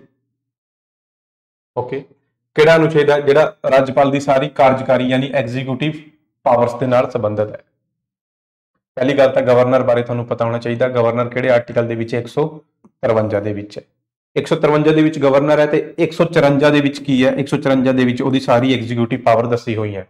ਤੇ ਰਾਈਟ ਆਨਸਰ ਫਿਰ ਕੀ ਹੋ ਗਿਆ? 154 ਹੋ ਗਿਆ। ਸਮਝੋ ਗੱਲ। ਗਵਰਨਰ 153 ਆਰਟੀਕਲ 153 ਤੋਂ ਬਾਅਦ 154 ਦੇ ਵਿੱਚ ਉਹਦੀ ਸਾਰੀ ਐਗਜ਼ੀਕਿਊਟਿਵ ਪਾਵਰਸ ਦੱਸੀਆਂ ਹੋਈਆਂ। ਇਹ ਚੱਕੋ ਸਾਰੇ ਆਰਟੀਕਲ ਜਿਹੜੇ ਗਵਰਨਰ ਦੇ ਨਾਲ ਰਿਲੇਟਡ ਹੈ ਜਿਹੜੇ ਪੁੱਛੇ ਜਾਂਦੇ ਆ ਪੇਪਰ ਦੇ ਵਿੱਚ। ਠੀਕ ਹੈ? 153 ਦੇ ਵਿੱਚ ਗਵਰਨਰ ਹੋ ਗਿਆ। 154 ਦੇ ਵਿੱਚ ਉਹਦੀ ਪਾਵਰਸ ਹੋ ਗਈ ਐਗਜ਼ੀਕਿਊਟਿਵ 155 ਦੇ ਵਿੱਚ ਉਹਦੀ ਅਪਾਇੰਟਮੈਂਟ ਦਾ ਜ਼ਿਕਰ ਹੈ, ਤੇ ਤੁਹਾਨੂੰ ਪਤਾ ਅਪਾਇੰਟਮੈਂਟ ਉਹਦੀ ਕੌਣ ਕਰਦਾ ਹੈ? ਰਾਸ਼ਟਰਪਤੀ ਕਰਦਾ ਹੈ। 156 ਦੇ ਵਿੱਚ ਉਹਦਾ ਟਰਮ ਹੈਗਾ ਮਤਲਬ ਉਹਦੀ ਆਫਿਸ ਦਾ ਟਰਮ ਹੈਗਾ ਵੀ ਕਿੰਨੇ ਸਾਲ ਹੋਰ ਰਹੂਗਾ ਤੇ ਆਮ ਤੌਰ ਤੇ 5 ਸਾਲ ਕਿਹਾ ਜਾਂਦਾ ਹੈ ਬਟ ਤੁਹਾਨੂੰ ਪਤਾ ਹੈ, ਉਹ ਰਾਸ਼ਟਰਪਤੀ ਦੀ ਇੱਛਾ ਅਨੁਸਾਰ ਬਣਿਆ ਰਹਿੰਦਾ ਹੈ। ਠੀਕ ਹੈ, ਜਦੋਂ ਤੱਕ ਰਾਸ਼ਟਰਪਤੀ ਦੀ ਇੱਛਾ ਹੈ, ਉਦੋਂ ਤੱਕ ਉਹ ਗਵਰਨਰ ਬਣਿਆ ਰਹਿੰਦਾ ਹੈ। ਭਾਵੇਂ ਇੱਕ ਦਿਨ ਰਹੇ, ਭਾਵੇਂ 6 ਸਾਲ ਰਹੇ, ਕੋਈ ਚੱਕਰ ਨਹੀਂ। ਕੁਆਲੀਫਿਕੇਸ਼ਨ ਹੈ ਜੀ। ਕੁਆਲੀਫਿਕੇਸ਼ਨ ਕੀ ਹੈ? ਕਿਸੇ ਵੀ ਸਦਨ ਦਾ ਮੈਂਬਰ ਨਹੀਂ ਹੋਣਾ ਚਾਹੀਦਾ, ਨਾ ਲੋਕ ਸਭਾ, ਨਾ ਰਾਜ ਸਭਾ, ਨਾ ਵਿਧਾਨ ਸਭਾ, ਨਾ ਵਿਧਾਨ ਪਰਿਸ਼ਦ। ਜੇ ਗਵਰਨਰ ਦੀ ਪੋਸਟ ਤੇ ਹੈਗਾ ਆ, ਠੀਕ ਹੈ ਨਾ? ਮਤਲਬ ਜੇ ਪਹਿਲਾਂ ਉਹ ਕਿਸੇ ਸਦਨ ਦਾ ਮੈਂਬਰ ਹੈ ਤਾਂ ਅਸਤੀਫਾ ਦੇਣਾ ਪਊਗਾ, ਜੇ ਗਵਰਨਰ ਬਣਨਾ ਹੈ। ਓਕੇ ਬਾਕੀ ਉਮਰ ਏਜ ਤੁਸੀਂ ਦੱਸੋ ਮੈਨੂੰ ਕਿ- ਕਿੰਨੀ ਚਾਹੀਦੀ ਹੈ, ਠੀਕ ਹੈ? ਮਿਨੀਮਮ ਮਿਨੀਮਮ ਏਜ ਮੈਕਸਿਮਮ ਤਾਂ ਆਪਣੇ ਦੇਸ਼ ਦੇ ਵਿੱਚ ਨੇਤਾਵਾਂ ਦੀ ਕੋਈ ਮੈਕਸਿਮਮ ਏਜ ਨਹੀਂ ਹੁੰਦੀ, ਉਹ ਨੇਤਾ ਕਦੇ ਬੁੜੇ ਨਹੀਂ ਹੁੰਦੇ, ਠੀਕ ਹੈ? ਉਸ ਤੋਂ ਬਾਅਦ 159 ਓਥ ਸਪਤ ਸਪਤ ਯਾਨੀ ਸੌ, ਕੌਣ ਚੁਕਾਉਂਦਾ ਹੈ? ਸੌ ਗਵਰਨਰ ਨੂੰ। ਜਿਹੜੀ ਸਟੇਟ ਦਾ ਗਵਰਨਰ ਲਗਾਣਾ ਹੈ, ਉਸੇ ਸਟੇਟ ਦੀ ਹਾਈ ਕੋਰਟ ਦਾ ਚੀਫ ਜਸਟਿਸ ਠੀਕ ਹੈ? 161 ਦੇ ਵਿੱਚ ਪਾਵਰ ਰਾਸ਼ਟਰਪਤੀ ਦੀ ਪਾਵਰ ਕਿਹੜੀ? ਪਾਰਡਨ ਦੀ ਪਾਵਰ ਪਾਰਡਨ ਮਤਲਬ ਮਾਫ ਕਰਨ ਦੀ ਸ਼ਕਤੀਆਂ। ਠੀਕ ਹੈ, ਜੋ ਸਜ਼ਾ ਵਗੈਰਾ ਮਿਲ ਜਾਂਦੀ ਹੈ, ਉਹਨੂੰ ਮਾਫ ਕਰ ਸਕਦਾ ਹੈ ਗਵਰਨਰ ਉਹ 161 ਦੇ ਵਿੱਚ ਹੈ। ਆਰਟੀਕਲ 200 ਮੈਂ ਕੱਲ ਦੱਸਿਆ ਸੀਗਾ, ਬਿੱਲਾਂ ਦੇ ਉੱਤੇ ਸਾਈਨ ਕਰਨੇ। ਜਿਹੜੇ ਬਿੱਲ ਵਿਧਾਨ ਸਭਾ ਪਾਸ ਕਰ ਰਹੀ ਹੈ ਸਟੇਟ ਦੀ, ਉਹ ਗਵਰਨਰ ਕੀ ਕਰਦਾ ਹੈ? ਪਾਸ ਕਰਦਾ ਹੈ। ਉਸ ਦੇ ਸਾਈਨ ਤੋਂ ਬਿਨਾ ਉਹ ਬਿੱਲ ਪਾਸ ਨਹੀਂ ਹੁੰਦੇ। 201 ਵੀ ਮੈਂ ਕੱਲ ਦੱਸਿਆ ਸੀ, ਮੈਂ ਨਹੀਂ ਦੱਸਣਾ, ਤੁਸੀਂ ਮੈਨੂੰ ਦੱਸੋਗੇ। 213 ਦੇ ਵਿੱਚ ਆਰਡੀਨੈਂਸ ਪਾਵਰ ਜਾਰੀ ਕਰਨ ਦੀ ਆਰਡੀਨੈਂਸ ਦਾ ਮਤਲਬ ਹੁੰਦਾ ਹੈ ਅਧਿਆਦੇਸ਼ ਜਾਰੀ ਕਰਨਾ। ਗਵਰਨਰ ਕੋਲ ਪਾਵਰ ਹੁੰਦੀ ਹੈ, ਉਹ ਆਰਡੀਨੈਂਸ ਜਾਰੀ ਕਰ ਸਕਦਾ ਹੈ ਜਦੋਂ ਵਿਧਾਨ ਸਭਾ ਨਹੀਂ ਚੱਲਦੀ। ਠੀਕ ਹੈ ਨਾ?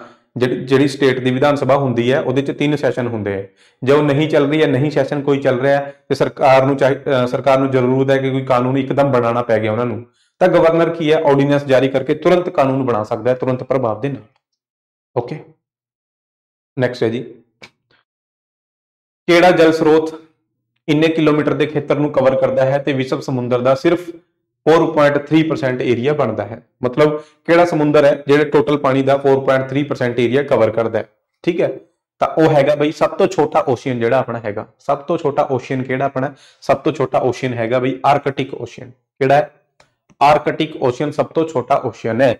ਸਿਰਫ 4.3% ਏਰੀਆ ਕਵਰ ਕਰਦਾ ਹੈ। ਕਿੰਨੇ ਓਸ਼ੀਅਨ ਆਪਣੇ ਕੋਲ ਹੈਗੇ ਆ? ਪੰਜ ਹੈਗੇ ਆ ਬਈ। ਕਿਹੜੇ ਕਿਹੜੇ ਆ? ਪੰਜ। ਚਾਰ ਤਾਂ ਹੀ ਹੋ ਗਏ। ਪੰਜਵਾਂ ਜਿਹੜਾ ਹੈਗਾ ਬਈ ਉਹ ਹੈਗਾ ਪੈਸੀਫਿਕ ਪੈਸੀਫਿਕ ਓਸ਼ੀਅਨ ਯਾਨੀ ਪ੍ਰਸ਼ਾਂਤ ਮਹਾਸਾਗਰ। ਕਿਹੜਾ? ਪ੍ਰਸ਼ਾਂਤ ਮਹਾਸਾਗਰ। ਸਭ ਤੋਂ ਵੱਡਾ ਕਿਹੜਾ? ਪ੍ਰਸ਼ਾਂਤ। ਦੂਜੇ ਨੰਬਰ ਤੇ ਅਟਲਾਂਟਿਕ ਤੀਜੇ ਨੰਬਰ ਤੇ ਇੰਡੀਅਨ ਓਸ਼ੀਅਨ ਚੌਥੇ ਨੰਬਰ ਤੇ ਸਦਨ ਓਸ਼ੀਅਨ ਪੰਜਵੇਂ ਤੇ ਆਰਕਟਿਕ ਹੈ ਸਭ ਤੋਂ ਛੋਟਾ। ਓਕੇ ਕਈ ਵਾਰ ਕੁਐਸਚਨ ਆ ਜਾਂਦਾ ਹੈ, ਕਿਹੜਾ ਓਸ਼ੀਅਨ ਐਸ ਦੀ ਸ਼ੇਪ ਦੇ ਵਿੱਚ ਹੈਗਾ? ਐਸ ਦੀ ਸ਼ੇਪ ਦੇ ਵਿੱਚ। ਤਾਂ ਉਹ ਹੈਗਾ ਬਈ ਅਟਲਾਂਟਿਕ ਓਸ਼ੀਅਨ ਠੀਕ ਹੈ ਕਿਹੜਾ ਹੈ? ਅਟਲਾਂਟਿਕ ਸਭ ਤੋਂ ਡੂੰਘਾ ਕਿਹੜਾ ਹੈ? ਸਭ ਤੋਂ ਡੂੰਘਾ ਹੈਗਾ ਪੈਸੀਫਿਕ ਓਸ਼ੀਅਨ ਸਭ ਤੋਂ ਡੂੰਘਾ ਓਸ਼ੀਅਨ ਕਿਹੜਾ ਹੈ ਜੀ? ਪੈਸੀਫਿਕ ਓਸ਼ੀਅਨ ਇਹਦਾ ਮਤਲਬ ਜਿਹੜਾ ਏਰੀਆ ਹੈਗਾ, ਉਹ ਹੈਗਾ 46% ਠੀਕ ਹੈ? ਅਟਲਾਂਟਿਕ ਦਾ ਲਗਭਗ 28 29% ਹੈਗਾ ਆ। ਓਕੇ ਇਹ ਯਾਦ ਰੱਖ ਲਿਓ ਬਸ। ਠੀਕ ਹੈ? ਨੈਕਸਟ ਆ ਧਰਤੀ ਦੀ ਕਰਸਟ ਵਿੱਚ ਕਾਰਬੋਨੇਟ ਕੋਲਾ ਪੈਟਰੋਲੀਅਮ ਵਰਗੇ ਖਣਿਜਾਂ ਦੇ ਰੂਪ ਵਿੱਚ ਮੌਜੂਦ ਕਾਰਬਨ ਦੀ ਪ੍ਰਤੀਸ਼ਤਾ ਕਿੰਨੀ ਹੈ? ਮਤਲਬ ਕਿੰਨੇ ਪਰਸੈਂਟ ਕਾਰਬਨ ਹੈਗਾ ਧਰਤੀ ਦੀ ਕਰਸਟ ਦੇ ਵਿੱਚ? ਸਾਰੇ ਰੂਪਾਂ ਦੇ ਵਿੱਚ। ਜਿੰਨੇ ਮਰਜ਼ੀ ਰੂਪ ਹੈਗੇ, ਮਤਲਬ ਕਾਰਬਨ ਚਾਹੇ ਕੋਲੇ ਦੇ ਰੂਪ ਦੇ ਵਿੱਚ ਮਿਲ ਰਿਹਾ, ਚਾਹੇ ਪੈਟਰੋਲੀਅਮ ਦੇ ਰੂਪ ਦੇ ਵਿੱਚ ਮਿਲ ਰਿਹਾ, ਕਿਸੇ ਵੀ ਰੂਪ ਦੇ ਵਿੱਚ ਕਾਰਬਨ ਮਿਲ ਰਿਹਾ, ਧਰਤੀ ਦੀ ਕਰਸਟ ਦੇ ਵਿੱਚ ਕਿੰਨੇ ਪਰਸੈਂਟ ਹੈ? ਪਹਿਲੀ ਗੱਲ, ਧਰਤੀ ਦੀ ਕਰਸਟ ਦਾ ਤੁਹਾਨੂੰ ਪਤਾ ਹੋਣਾ ਚਾਹੀਦਾ ਹੈ ਕਰਸਟ ਹੁੰਦੀ ਕੀ ਚੀਜ਼ ਹੈ? ਜਿਹੜੀ ਆਪਣੀ ਧਰਤੀ ਹੈ, ਜਿੱਥੇ ਆਪਾਂ ਰਹਿੰਦੇ ਆ ਜਦੋਂ ਆਪਾਂ, ਮਤਲਬ ਜਿਹੜੀ ਪਰਤ ਦੇ ਉੱਪਰ ਰਹਿੰਦੇ ਆ ਇਹਨੂੰ ਆਪਾਂ ਕਰਸਟ ਬੋਲਦੇ ਆ ਹਨਾ? ਇਸ ਤੋਂ ਥੱਲੇ ਜਾਵਾਂਗੇ 30 ਕਿਲੋਮੀਟਰ। ਥੱਲੇ ਜਾ ਕੇ ਸਾਨੂੰ ਦੂਜੀ ਪਰਤ ਮਿਲੂਗੀ ਜਿਹਨੂੰ ਆਪਾਂ ਬੋਲਦੇ ਹਾਂ ਮੈਂਟਲ। ਤੇ ਮੈਂਟਲ ਤੋਂ ਵੀ ਅੱਗੇ ਜਾ ਕੇ ਜਾਵਾਂਗੇ ਆਪਾਂ, ਹਨਾ? 2900 ਕਿਲੋਮੀਟਰ ਤੋਂ ਬਾਅਦ ਆਪਾਂ ਨੂੰ ਤੀਜੀ ਪਰਤ ਮਿਲੂਗੀ ਕੋਰ। ਯਾਨੀ ਧਰਤੀ ਦੇ ਵਿੱਚ ਤਿੰਨ ਪਰਤਾਂ ਹੈਗੀਆਂ। ਪਹਿਲੀ ਕਿਹੜੀ ਹੈ? ਕਰਸਟ। ਫਿਰ ਉਸ ਤੋਂ ਥੱਲੇ, ਯਾਨੀ ਉਸ ਤੋਂ ਅੰਦਰ ਮੈਂਟਲ ਹੈਗੀ ਆ ਤੇ ਸਭ ਤੋਂ ਅੰਦਰ ਹੈਗੀ ਆ ਕੋਰ। ਠੀਕ ਹੈ? Crust, mental, core. ਕਰਸਟ ਤਾਂ ਬਹੁਤ ਜ਼ਿਆਦਾ ਪਤਲੀ ਹੈ, ਸਿਰਫ 29 30 30 ਕਿਲੋਮੀਟਰ ਤੁਸੀਂ ਮੰਨ ਕੇ ਚੱਲੋ। 30 ਕਿਲੋਮੀਟਰ 30% ਨਹੀਂ 30 ਕਿਲੋਮੀਟਰ। ਠੀਕ ਹੈ? ਤਾਂ ਇਹਦਾ ਐਦਾਂ ਹੈ ਕਰਸਟ ਤਾਂ ਜਿਵੇਂ ਕੋਈ ਫਰੂਟ ਨਹੀਂ ਹੁੰਦਾ, ਜਿਵੇਂ ਸੇਬ ਹੋ ਗਿਆ, ਹਨਾ? ਸੇਬ ਦਾ ਜੇ ਤੁਸੀਂ ਛਿਲਕ ਦੇਖੋਗੇ, ਬਾਹਰ ਵਾਲਾ ਜਿਹੜਾ ਛਿਲਕਾ ਹੈ ਨਾ ਬਸ ਉਹ ਕਰਸਟ ਹੈ, ਉਸ ਤੋਂ ਅੰਦਰ ਮੈਂਟਲ ਹੈ ਤੇ ਉਸ ਤੋਂ ਅੰਦਰ ਕੋਰ ਹੈ, ਠੀਕ ਹੈ? ਤਾਂ ਮਤਲਬ ਪੂਰੀ ਅਰਥ ਨੂੰ ਜੇ ਆਪਾਂ ਕੰਪੇਅਰ ਕਰਦੇ ਹਾਂ, ਤੇ ਉਸ ਕਰਸਟ ਦੇ ਵਿੱਚ ਕਾਰਬਨ ਕਿੰਨੇ ਪਰਸੈਂਟ ਹੈ? ਮਾਤਰ 0.02% ਕਿੰਨਾ ਹੈ? 2% ਤੇ ਧਰਤੀ ਦੇ ਬਾਹਰ ਹੈ ਨਾ ਧਰਤੀ ਦੇ ਬਾਹਰ ਕੀ ਹੈ? 900 800 ਕਿਲੋਮੀਟਰ ਤੱਕ, ਉੱਪਰ 1000 ਕਿਲੋਮੀਟਰ ਤੱਕ ਸਿਰਫ ਗੈਸਾਂ ਹੀ ਗੈਸਾਂ ਹੈਗੀਆਂ। ਮਤਲਬ ਆਪਣਾ ਕੀ ਇੱਕ ਤਰ੍ਹਾਂ ਦਾ ਵਾਯੂਮੰਡਲ ਹੈ ਹੈਨਾ ਵਾਯੂਮੰਡਲ ਹੈ। ਉਸ ਵਾਯੂਮੰਡਲ ਦੇ ਵਿੱਚ, ਉਸ ਵਾਯੂਮੰਡਲ ਦੇ ਵਿੱਚ ਬਹੁਤ ਸਾਰੀ ਗੈਸਾਂ ਹੈਗੀਆਂ। ਠੀਕ ਹੈ? ਸਭ ਤੋਂ ਜ਼ਿਆਦਾ ਕਿਹੜੀ ਗੈਸ ਹੈ? ਨਾਈਟ੍ਰੋਜਨ ਗੈਸ ਹੈ। ਕਾਰਬਨ ਕਿੰਨੇ ਪਰਸੈਂਟ ਹੈ? ਜਿਹੜੀ ਕਾਰਬਨ ਡਾਈਆਕਸਾਈਡ ਗੈਸ ਹੈ, ਉਹ ਕਿੰਨੇ ਪਰਸੈਂਟ ਹੈ? ਉਹ ਹੈਗੀ ਹੈ 0.03% ਤਾਂ ਵਾਯੂਮੰਡਲ ਦੇ ਵਿੱਚ ਯਾਨੀ ਐਟਮੋਸਫੇਅਰ ਦੇ ਵਿੱਚ 0.03% ਧਰਤੀ ਦੀ ਕਰਸਟ ਦੇ ਵਿੱਚ 0.02% ਵਾਯੂਮੰਡਲ ਦੇ ਵਿੱਚ ਇਹਦਾ ਕੈਮਾ ਨੰਬਰ ਹੈ? ਵਾਯੂਮੰਡਲ ਦੇ ਵਿੱਚ ਇਹਦਾ ਨੰਬਰ ਆਊਗਾ ਚੌਥਾ। ਪਹਿਲੇ ਨੰਬਰ ਤੇ ਨਾਈਟ੍ਰੋਜਨ ਹੈ, ਦੂਜੇ ਤੇ ਆਕਸੀਜਨ ਹੈ, ਤੀਜੇ ਤੇ ਆਰਗਨ ਹੈ, ਚੌਥੇ ਤੇ ਇਹ ਹੈਗੀ ਹੈ। ਓਕੇ ਚਲੋ ਫਿਰ ਅੱਗੇ। ਭਾਰਤੀ ਸੰਵਿਧਾਨ ਦੀ ਹੇਠ ਲਿਖੀ ਧਾਰਾਵਾਂ ਵਿੱਚੋਂ, ਯਾਨੀ ਆਰਟੀਕਲ ਦੀ ਗੱਲ ਹੋ ਰਹੀ ਹੈ ਆਰਟੀਕਲ ਵਿੱਚੋਂ ਕਿਹੜੀ ਆਰਟੀਕਲ ਯਾਨੀ ਕਿਹੜਾ ਆਰਟੀਕਲ ਕੁਝ ਮਾਮਲਿਆਂ ਵਿੱਚ ਗ੍ਰਿਫਤਾਰੀ ਤੇ ਨਜ਼ਰਬੰਦੀ ਤੋਂ ਸੁਰੱਖਿਆ ਪ੍ਰਦਾਨ ਕਰਦਾ ਹੈ? ਠੀਕ ਹੈ, ਕੁਝ ਮਾਮਲਿਆਂ ਦੇ ਵਿੱਚ ਗ੍ਰਿਫਤਾਰੀ ਤੇ ਨਜ਼ਰਬੰਦੀ। ਨਜ਼ਰਬੰਦੀ ਹੁੰਦੀ ਹੈ ਡਿਟੇਨ ਕਰਨਾ, ਹਨਾ?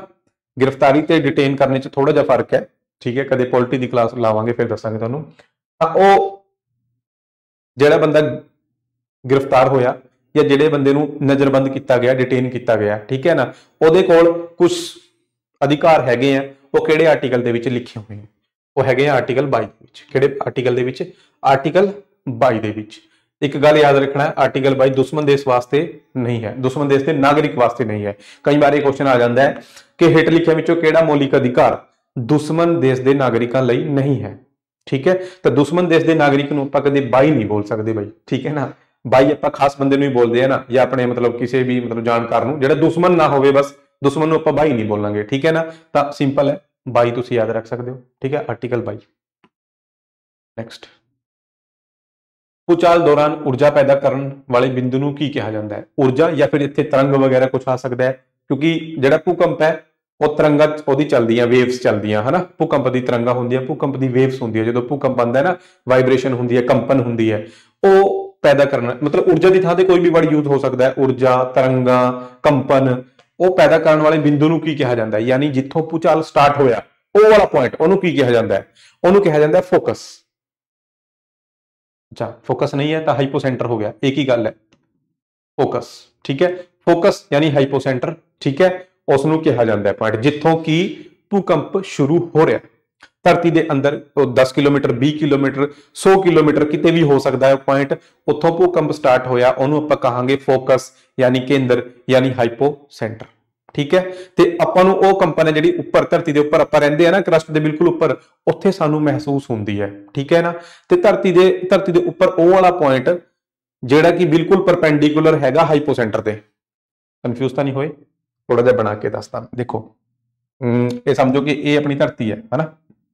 ਇਹ ਆਪਣੀ ਧਰਤੀ ਹੋਗੀ ਕਰਸਟ ਠੀਕ ਹੈ। ਇਹਦੇ ਉੱਪਰ ਆਪਾਂ ਰਹਿੰਦੇ ਆ ਇਹ ਕੋਈ ਪਹਾੜ ਵਗੈਰਾ ਆਪਣੇ ਹੋ ਗਏ, ਖਾਈਆਂ, ਸਮੁੰਦਰ, ਹਨਾ? ਪੇੜ, ਪੌਦੇ ਕੁਝ ਵੀ, ਇਹ ਮਕਾਨ ਹੋ ਗਏ, ਇਹ ਆਪਣੀ ਅਕੈਡਮੀ ਹੋ ਗਈ, ਪ੍ਰਤਾਪ ਅਕੈਡਮੀ ਹਨਾ? ਠੀਕ ਹੈ। ਤਾਂ ਇਹ ਧਰਤੀ ਦੇ ਅੰਦਰ ਕੋਈ ਵੀ ਮੰਨ ਲਓ 50 ਕਿਲੋਮੀਟਰ ਨੀਚੇ 50 ਕਿਲੋਮੀਟਰ ਥੱਲੇ, ਇੱਥੋਂ ਭੂਕੰਪ ਸ਼ੁਰੂ ਹੋ ਗਿਆ। ਠੀਕ ਹੈ? ਵਿਜ਼ੀਬਲ ਹੈਗਾ? ਹਾਂ, ਬਿਲਕੁਲ ਵਿਜ਼ੀਬਲ ਹੈ। 50 ਕਿਲੋਮੀਟਰ ਥੱਲੇ ਕੀ ਹੈ? ਉਹ ਆਪਣਾ ਉਹ ਸਟਾਰਟ ਹੋ ਗਿਆ, ਭੂਕੰਪ ਸਟਾਰਟ ਹੋ ਗਿਆ ਬਈ, ਹਨਾ? ਇਹਨੂੰ ਤਾਂ ਆਪਾਂ ਬੋਲਾਂਗੇ ਫੋਕਸ ਫੋਕਸ ਬੋਲ ਦੋ ਜਾਂ ਇਹਨੂੰ ਹਾਈਪੋਸੈਂਟਰ ਬੋਲ ਦੋ, ਠੀਕ ਹੈ? ਇਹ ਤਾਂ ਹੋ ਗਿਆ ਹਾਈਪੋਸੈਂਟਰ ਬਈ। ਸੈਂਟਰ ਦੇ ਬਿਲਕੁਲ ਉੱਪਰ ਪਰਪੈਂਡੀਕੂਲਰ ਐਨ 90 ਡਿਗਰੀ ਦੇ ਉੱਪਰ, ਇੱਥੇ ਧਰਤੀ ਦੇ ਉੱਤੇ, ਇੱਥੇ, ਜਿੱਥੇ ਆਪਾਂ ਰਹਿੰਦੇ ਆ ਇਸ ਪੁਆਇੰਟ ਨੂੰ ਕੀ ਕਹਾਂਗੇ? ਇਸ ਪੁਆਇੰਟ ਨੂੰ ਆਪਾਂ ਕਹਾਂਗੇ ਐਪੀਸੈਂਟਰ ਇਸ ਪੁਆਇੰਟ ਨੂੰ ਆਪਾਂ ਕਹਾਂਗੇ ਐਪੀਸੈਂਟਰ ਯਾਨੀ ਐਪੀਸੈਂਟਰ ਕੀ ਹੈ? ਐਪੀਸੈਂਟਰ ਉਹ ਵਾਲਾ ਪੁਆਇੰਟ ਹੈਗਾ, ਉਹ ਵਾਲਾ ਪੁਆਇੰਟ ਹੈ ਜਿਹਦੇ ਥੱਲੇ ਜਾ ਕੇ ਭੂਕੰਪ ਸਟਾਰਟ ਹੋਇਆ, ਬਿਲਕੁਲ, ਹਨਾ? ਜਾਂ ਜਿੱਥੋਂ ਭੂਕੰਪ ਸਟਾਰਟ ਹੋਇਆ, ਉਸ ਪੁਆਇੰਟ ਦੇ ਬਿਲਕੁਲ ਉੱਪਰ, ਧਰਤੀ ਦੇ ਸਰਫੇਸ ਦੇ ਉੱਪਰ ਉਸ ਨੂੰ ਆਪਾਂ ਬੋਲਾਂਗੇ ਐਪੀਸੈਂਟਰ ਠੀਕ ਹੈ? ਸਮਝਿਓ ਗੱਲ? ਤੇ ਇੱਥੋਂ ਫਿਰ ਭੂਕੰਪ ਤੁਸੀਂ ਕਹਿ ਸਕਦੇ ਹੋ ਕਿ ਇਦਾਂ ਚਾਰ ਚਪੇਰਿਆ ਜਿਹੜਾ ਉਹ ਫੈਲਦਾ ਹੈ। ਤਿੰਨ ਤਰੰਗਾਂ ਹੁੰਦੀਆਂ ਭੂਕੰਪ ਦੀ ਪੀਐਸਐਲ ਵੇਵਸ ਤਿੰਨ ਵੇਵਸ ਹੁੰਦੀਆਂ P S L waves primary secondary ਤੇ ਲੌਂਗ ਵੇਵਸ ਹੁੰਦੀਆਂ, ਠੀਕ ਹੈ? ਇਹ ਸਭ ਤੋਂ ਤੇਜ਼ ਹੁੰਦੀਆਂ, ਇਹ ਉਸ ਤੋਂ ਹੌਲੀ, ਇਹ ਸਭ ਤੋਂ ਹੌਲੀ। ਪਰ ਸਭ ਤੋਂ ਖਤਰਨਾਕ ਇਹ, ਉਸ ਤੋਂ ਘੱਟ ਖਤਰਨਾਕ ਇਹ ਤੇ ਉਸ ਤੋਂ ਘੱਟ ਖਤਰਨਾਕ ਇਹ ਵਾਲੀ। ਤਾਂ ਸਭ ਤੋਂ ਖਤਰਨਾਕ ਐਲ ਵੇਵਸ ਹੁੰਦੀਆਂ ਲੌਂਗ ਵੇਵਸ ਜਿਹਨੂੰ ਧਰਾਤਲੀ ਤਰੰਗਾ ਵੀ ਕਹਿੰਦੇ ਆ। ਤੇ ਭੂਕੰਪ ਨਾਪਣ ਵਾਸਤੇ ਕਿਹੜਾ ਯੰਤਰ ਯੂਜ਼ ਕਰਦੇ ਆ ਆਪਾਂ? ਸਿਸਮੋਗ੍ਰਾਫ ਕਰਦੇ ਆ, ਸਿਸਮੋਗ੍ਰਾਫ। ਠੀਕ ਹੈ, ਯਾਦ ਰੱਖਣਾ ਹੈ। ਬਹੁਤ ਹੈ, ਚਲੋ। ਨੈਕਸਟ ਆ ਜਾਓ।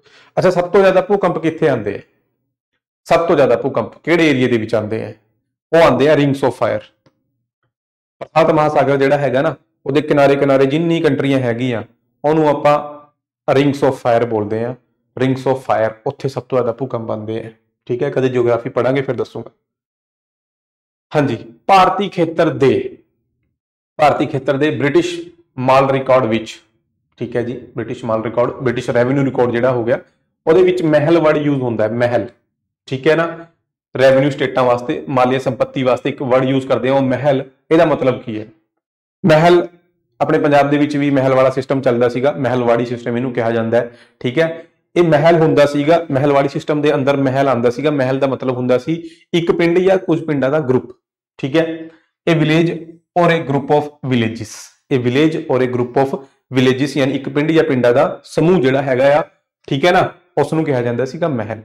ਇਹ ਪੰਜਾਬ ਵਾਲਾ ਏਰੀਆ ਹੋ ਗਿਆ, ਮੱਧ ਪ੍ਰਦੇਸ਼ ਵਾਲਾ ਏਰੀਆ ਹੋ ਗਿਆ, ਆਗਰਾ ਵਾਲਾ ਏਰੀਆ ਹੋ ਗਿਆ, ਇੱਥੇ ਇਹਨਾਂ ਕੁਝ ਏਰੀਆ ਦੇ ਵਿੱਚ ਮਹਿਲਵਾੜੀ ਸਿਸਟਮ ਸ਼ੁਰੂ ਕਰਿਆ ਗਿਆ ਸੀਗਾ ਬੈਂਟਿੰਗ ਨੇ ਕਰਿਆ ਸੀ, ਹਨਾ? ਇਹ ਤਿੰਨ ਸਿਸਟਮ ਹੈ ਜਿਹੜੇ ਸ਼ੁਰੂ ਹੋਏ ਆ। ਸਭ ਤੋਂ ਪਹਿਲਾਂ ਹੋਇਆ ਸੀ ਪਰਮਨੈਂਟ ਸੈਟਲਮੈਂਟ ਜਿਹਨੂੰ ਜ਼ਿਮੀਂਦਾਰੀ ਸਿਸਟਮ ਕਿਹਾ ਜਾਂਦਾ ਹੈ। ਯਾਦ ਰੱਖਣਾ ਹੈ ਕੁਐਸਚਨ ਬਹੁਤ ਆਉਂਦੇ ਆ ਇਹਦੇ ਤੇ। ਠੀਕ ਹੈ? ਜ਼ਿਮੀਂਦਾਰੀ ਸਿਸਟਮ ਯਾਨੀ ਇਹਨੂੰ ਪਰਮਨੈਂਟ ਸੈਟਲਮੈਂਟ ਵੀ ਕਿਹਾ ਜਾਂਦਾ ਸੀਗਾ। ਪੰਜਾਬੀ ਚ ਲਿਖ ਲਿਓ, ਸਥਾਈ ਬੰਦੋਬਸਤ ਸਥਾਈ ਬੰਦੋਬਸਤ। ਪਰਮਨੈਂਟ ਦਾ ਮਤਲਬ ਕੀ ਹੁੰਦਾ ਹੈ? ਸਥਾਈ। ਸਥਾਈ ਬੰਦੋਬਸਤ। ਕਿਨੇ ਸ਼ੁਰੂ ਕਰਿਆ ਸੀਗਾ? ਕਾਰਨਵਾਲਿਸ ਨੇ ਕਿਨੇ ਸ਼ੁਰੂ ਕਰਿਆ ਸੀਗਾ? ਕਾਰਨਵਾਲਿਸ ਸਨ ਵੀ ਯਾਦ ਰੱਖਣਾ ਹੈ ਤੇ ਬੰਗਾਲ ਦੇ ਵਿੱਚ ਸ਼ੁਰੂ ਕਰਿਆ ਗਿਆ ਸੀਗਾ, ਸਭ ਤੋਂ ਪਹਿਲਾਂ ਬੰਗਾਲ ਦੇ ਵਿੱਚ। ਇਹ ਜ਼ਿਮੀਂਦਾਰੀ ਸਿਸਟਮ ਜਾਂ ਪਰਮਨੈਂਟ ਸੈਟਲਮੈਂਟ ਜਾਂ ਸਥਾਈ ਬੰਦੋਬਸਤ ਦੇ ਵਿੱਚ ਕੀ ਸੀਗਾ? ਜਿਹੜਾ ਉਹ ਹੁੰਦੇ ਆਪਣੇ ਜ਼ਿਮੀਂਦਾਰ ਸੀਗੇ। ਜ਼ਿਮੀਂਦਾਰਾਂ ਨੂੰ ਜ਼ਮੀਨ ਦੇ ਮਾਲਕ ਸਮਝਿਆ ਗਿਆ ਤੇ ਜ਼ਮੀਨ ਉਹਨਾਂ ਨੂੰ ਮਿਲੀ ਹੈ। ਤੇ ਉਹਨਾਂ ਨੂੰ ਹੀ ਅਧਿਕਾਰ ਦਿਆ ਗਿਆ ਕਿ ਉਹ ਅੱਗੇ ਕਿਸਾਨਾਂ ਤੋਂ ਜਿਹੜੇ ਵੀ ਮਤਲਬ ਜ਼ਿਮੀਦਾਰ ਹੁੰਦੇ ਸੀ, ਉਹਨਾਂ ਕੋਲ ਬਹੁਤ ਜ਼ਿਆਦਾ ਜ਼ਮੀਨ ਸੀ, ਉਹ ਅੱਗੇ ਖੇਤੀ ਕਰਾਉਂਦੇ ਸੀਗੇ ਬਈ। ਤੇ ਉਹ ਜਿਨ੍ਹਾਂ ਤੋਂ ਖੇਤੀ ਕਰਾ ਰਹੇ ਜਿਨ੍ਹਾਂ ਨੂੰ ਉਹਨੇ ਜ਼ਮੀਨ ਦੇ ਰੱਖੀ ਉਹਨਾਂ ਤੋਂ ਉਹ ਟੈਕਸ ਇਕੱਠੇ ਕਰਦੇ ਸੀਗੇ ਤੇ ਫਿਰ ਉੱਪਰ ਅੰਗਰੇਜ਼ਾਂ ਨੂੰ ਦਿੰਦੇ ਸੀਗੇ। ਅਸਲੀ ਮਾਲਕ ਕੌਣ ਸਮਝੇ ਗਏ ਆ?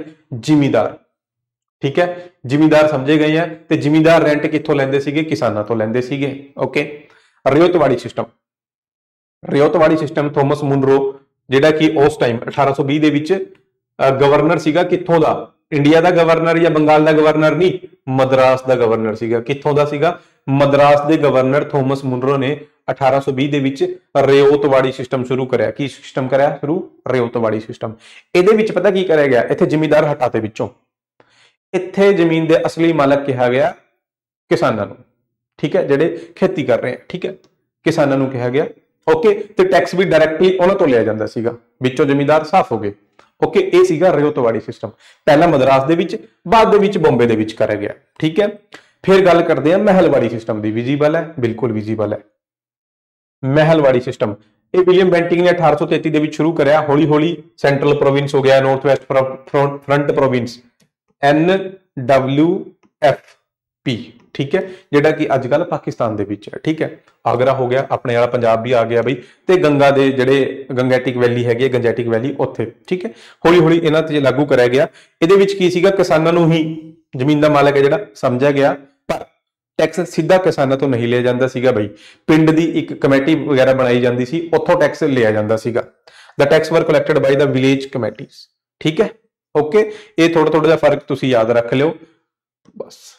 ਉਸ ਤੋਂ ਬਾਅਦ ਬਈ ਆਜੋ ਨੈਕਸਟ ਰਾਸ਼ਟਰੀ ਮਨੁੱਖੀ ਅਧਿਕਾਰ ਕਮਿਸ਼ਨ ਦਾ ਪਹਿਲਾ ਚੇਅਰਪਰਸਨ ਕੌਣ ਸੀ? ਰਾਸ਼ਟਰੀ ਮਨੁੱਖੀ ਅਧਿਕਾਰ ਕਮਿਸ਼ਨ, ਯਾਨੀ ਨੈਸ਼ਨਲ ਹਿਊਮਨ ਰਾਈਟ ਕਮਿਸ਼ਨ ਦੀ ਗੱਲ ਹੋ ਰਹੀ ਹੈ ਬਈ। ਇਹਦਾ ਪਹਿਲਾ ਚੇਅਰਪਰਸਨ ਕੌਣ ਸੀਗਾ? ਇਹਦਾ ਪਹਿਲਾ ਚੇਅਰਪਰਸਨ ਸੀਗਾ ਬਈ ਰੰਗਨਾਥ ਮਿਸ਼ਰਾ। ਰੰਗਨਾਥ ਮਿਸ਼ਰਾ ਪਹਿਲਾ ਚੇਅਰਪਰਸਨ ਸੀਗਾ। ਕੁਝ ਪੁਆਇੰਟ ਇਹਦੇ ਬਾਰੇ ਦੇਖ ਲਓ। ਹਿਊਮਨ ਰਾਈਟ ਕਮਿਸ਼ਨ ਕਦੋਂ ਬਣਿਆ? 12 ਅਕਤੂਬਰ 1993 ਨੂੰ। ਠੀਕ ਹੈ? ਤੇ ਹਿਊਮਨ ਰਾਈਟ ਕਮਿਸ਼ਨ ਜਿਹੜਾ ਹੈਗਾ, ਉਹ ਕਿਹੋ ਜੀ ਬੋਡੀ ਹੈ, ਕਿਹੋ ਜੀ ਸੰਸਥਾ ਹੈ? ਤਾਂ ਉਹ ਹੈਗੀ ਆ ਸੈਟਿਊਟਰੀ ਬੋਡੀ ਕਿਹੋ ਜੀ ਸੰਸਥਾ ਹੈ? ਸੈਟਿਊਟਰੀ। ਸੈਟਿਊਟਰੀ ਸੰਸਥਾ ਮੈਂ ਕੱਲ ਦੀ ਵੀਡੀਓ ਦੇ ਵਿੱਚ ਵੀ ਦੱਸੀ ਹੈ। ਸੈਟਿਊਟਰੀ ਸੰਸਥਾ, ਉਹ ਸੰਸਥਾ ਹੁੰਦੀ ਹੈ ਜਿਹਨੂੰ ਬਕਾਇਦਾ ਪਾਰਲੀਮੈਂਟ ਤੋਂ ਸਟੇਟਸ ਮਿਲਿਆ ਹੁੰਦਾ ਹੈ। ਮਤਲਬ ਪਾਰਲੀਮੈਂਟ ਨੇ ਉਹਨੂੰ ਪਾਸ ਕਰਿਆ ਹੁੰਦਾ ਹੈ। ਪਾਰਲੀਮੈਂਟ ਦੇ ਪਾਸ ਹੋਣ ਦਾ ਮਤਲਬ ਪਤਾ ਕੀ ਹੈ? ਲੋਕ ਸਭਾ, ਰਾਜ ਸਭਾ ਤੇ ਆਪਣੇ ਰਾਸ਼ਟਰਪਤੀ ਤਿੰਨਾਂ ਨੇ ਮਨਜ਼ੂਰੀ ਦੇਈ ਹੋਈ ਹੈ। ਠੀਕ ਹੈ? ਪਹਿਲਾਂ ਲੋਕ ਸਭਾ ਰਾਜ ਸਭਾ ਨੇ ਪਾਸ ਕਰਤਾ, ਉਸ ਤੋਂ ਬਾਅਦ ਰਾਸ਼ਟਰਪਤੀ ਨੇ ਸਾਈਨ ਕਰਿਆ, ਯਾਨੀ ਕਿ ਉਹ ਸਟੈਟਿਊਟਰੀ ਬੋਡੀ ਹੋਗੀ ਇਹਦੇ ਕੋਲ ਪਾਵਰ ਹੈ ਹੁਣ, ਠੀਕ ਹੈ? ਪਰ ਸੰਵਿਧਾਨਿਕ ਬੋਡੀ ਨਹੀਂ ਹੈ ਨੋਟ ਏ ਕਨਸਟੀਟਿਊਸ਼ਨਲ ਕਨਸਟੀਟਿਊਸ਼ਨ ਨਹੀਂ ਹੈਗੀ।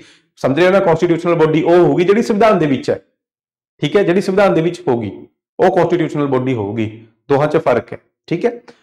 ਯਾਦ ਰੱਖਣਾ ਇੱਕ ਹੁੰਦੀ ਹੈ ਐਗਜ਼ੀਕਿਊਟਿਵ ਬੋਡੀ ਉਹ ਕਿਹੜੀ ਹੁੰਦੀ ਹੈ? ਐਗਜ਼ੀਕਿਊਟਿਵ ਬੋਡੀ ਹੁੰਦੀ ਹੈ ਜਿਹੜੀ ਕਿ ਐਗਜ਼ੀਕਿਊਟਿਵਸ ਨੇ ਬੋਲਤਾ, ਯਾਨੀ ਸਰਕਾਰ ਨੇ ਕਹਿਤਾ ਕਿ ਇਹ ਬੋਡੀ ਹੈਗੀ ਹੈ ਬਈ, ਬਸ ਗੱਲ ਖਤਮ ਹੈ, ਇਹ ਸੰਸਥਾ ਬਣ ਗਈ।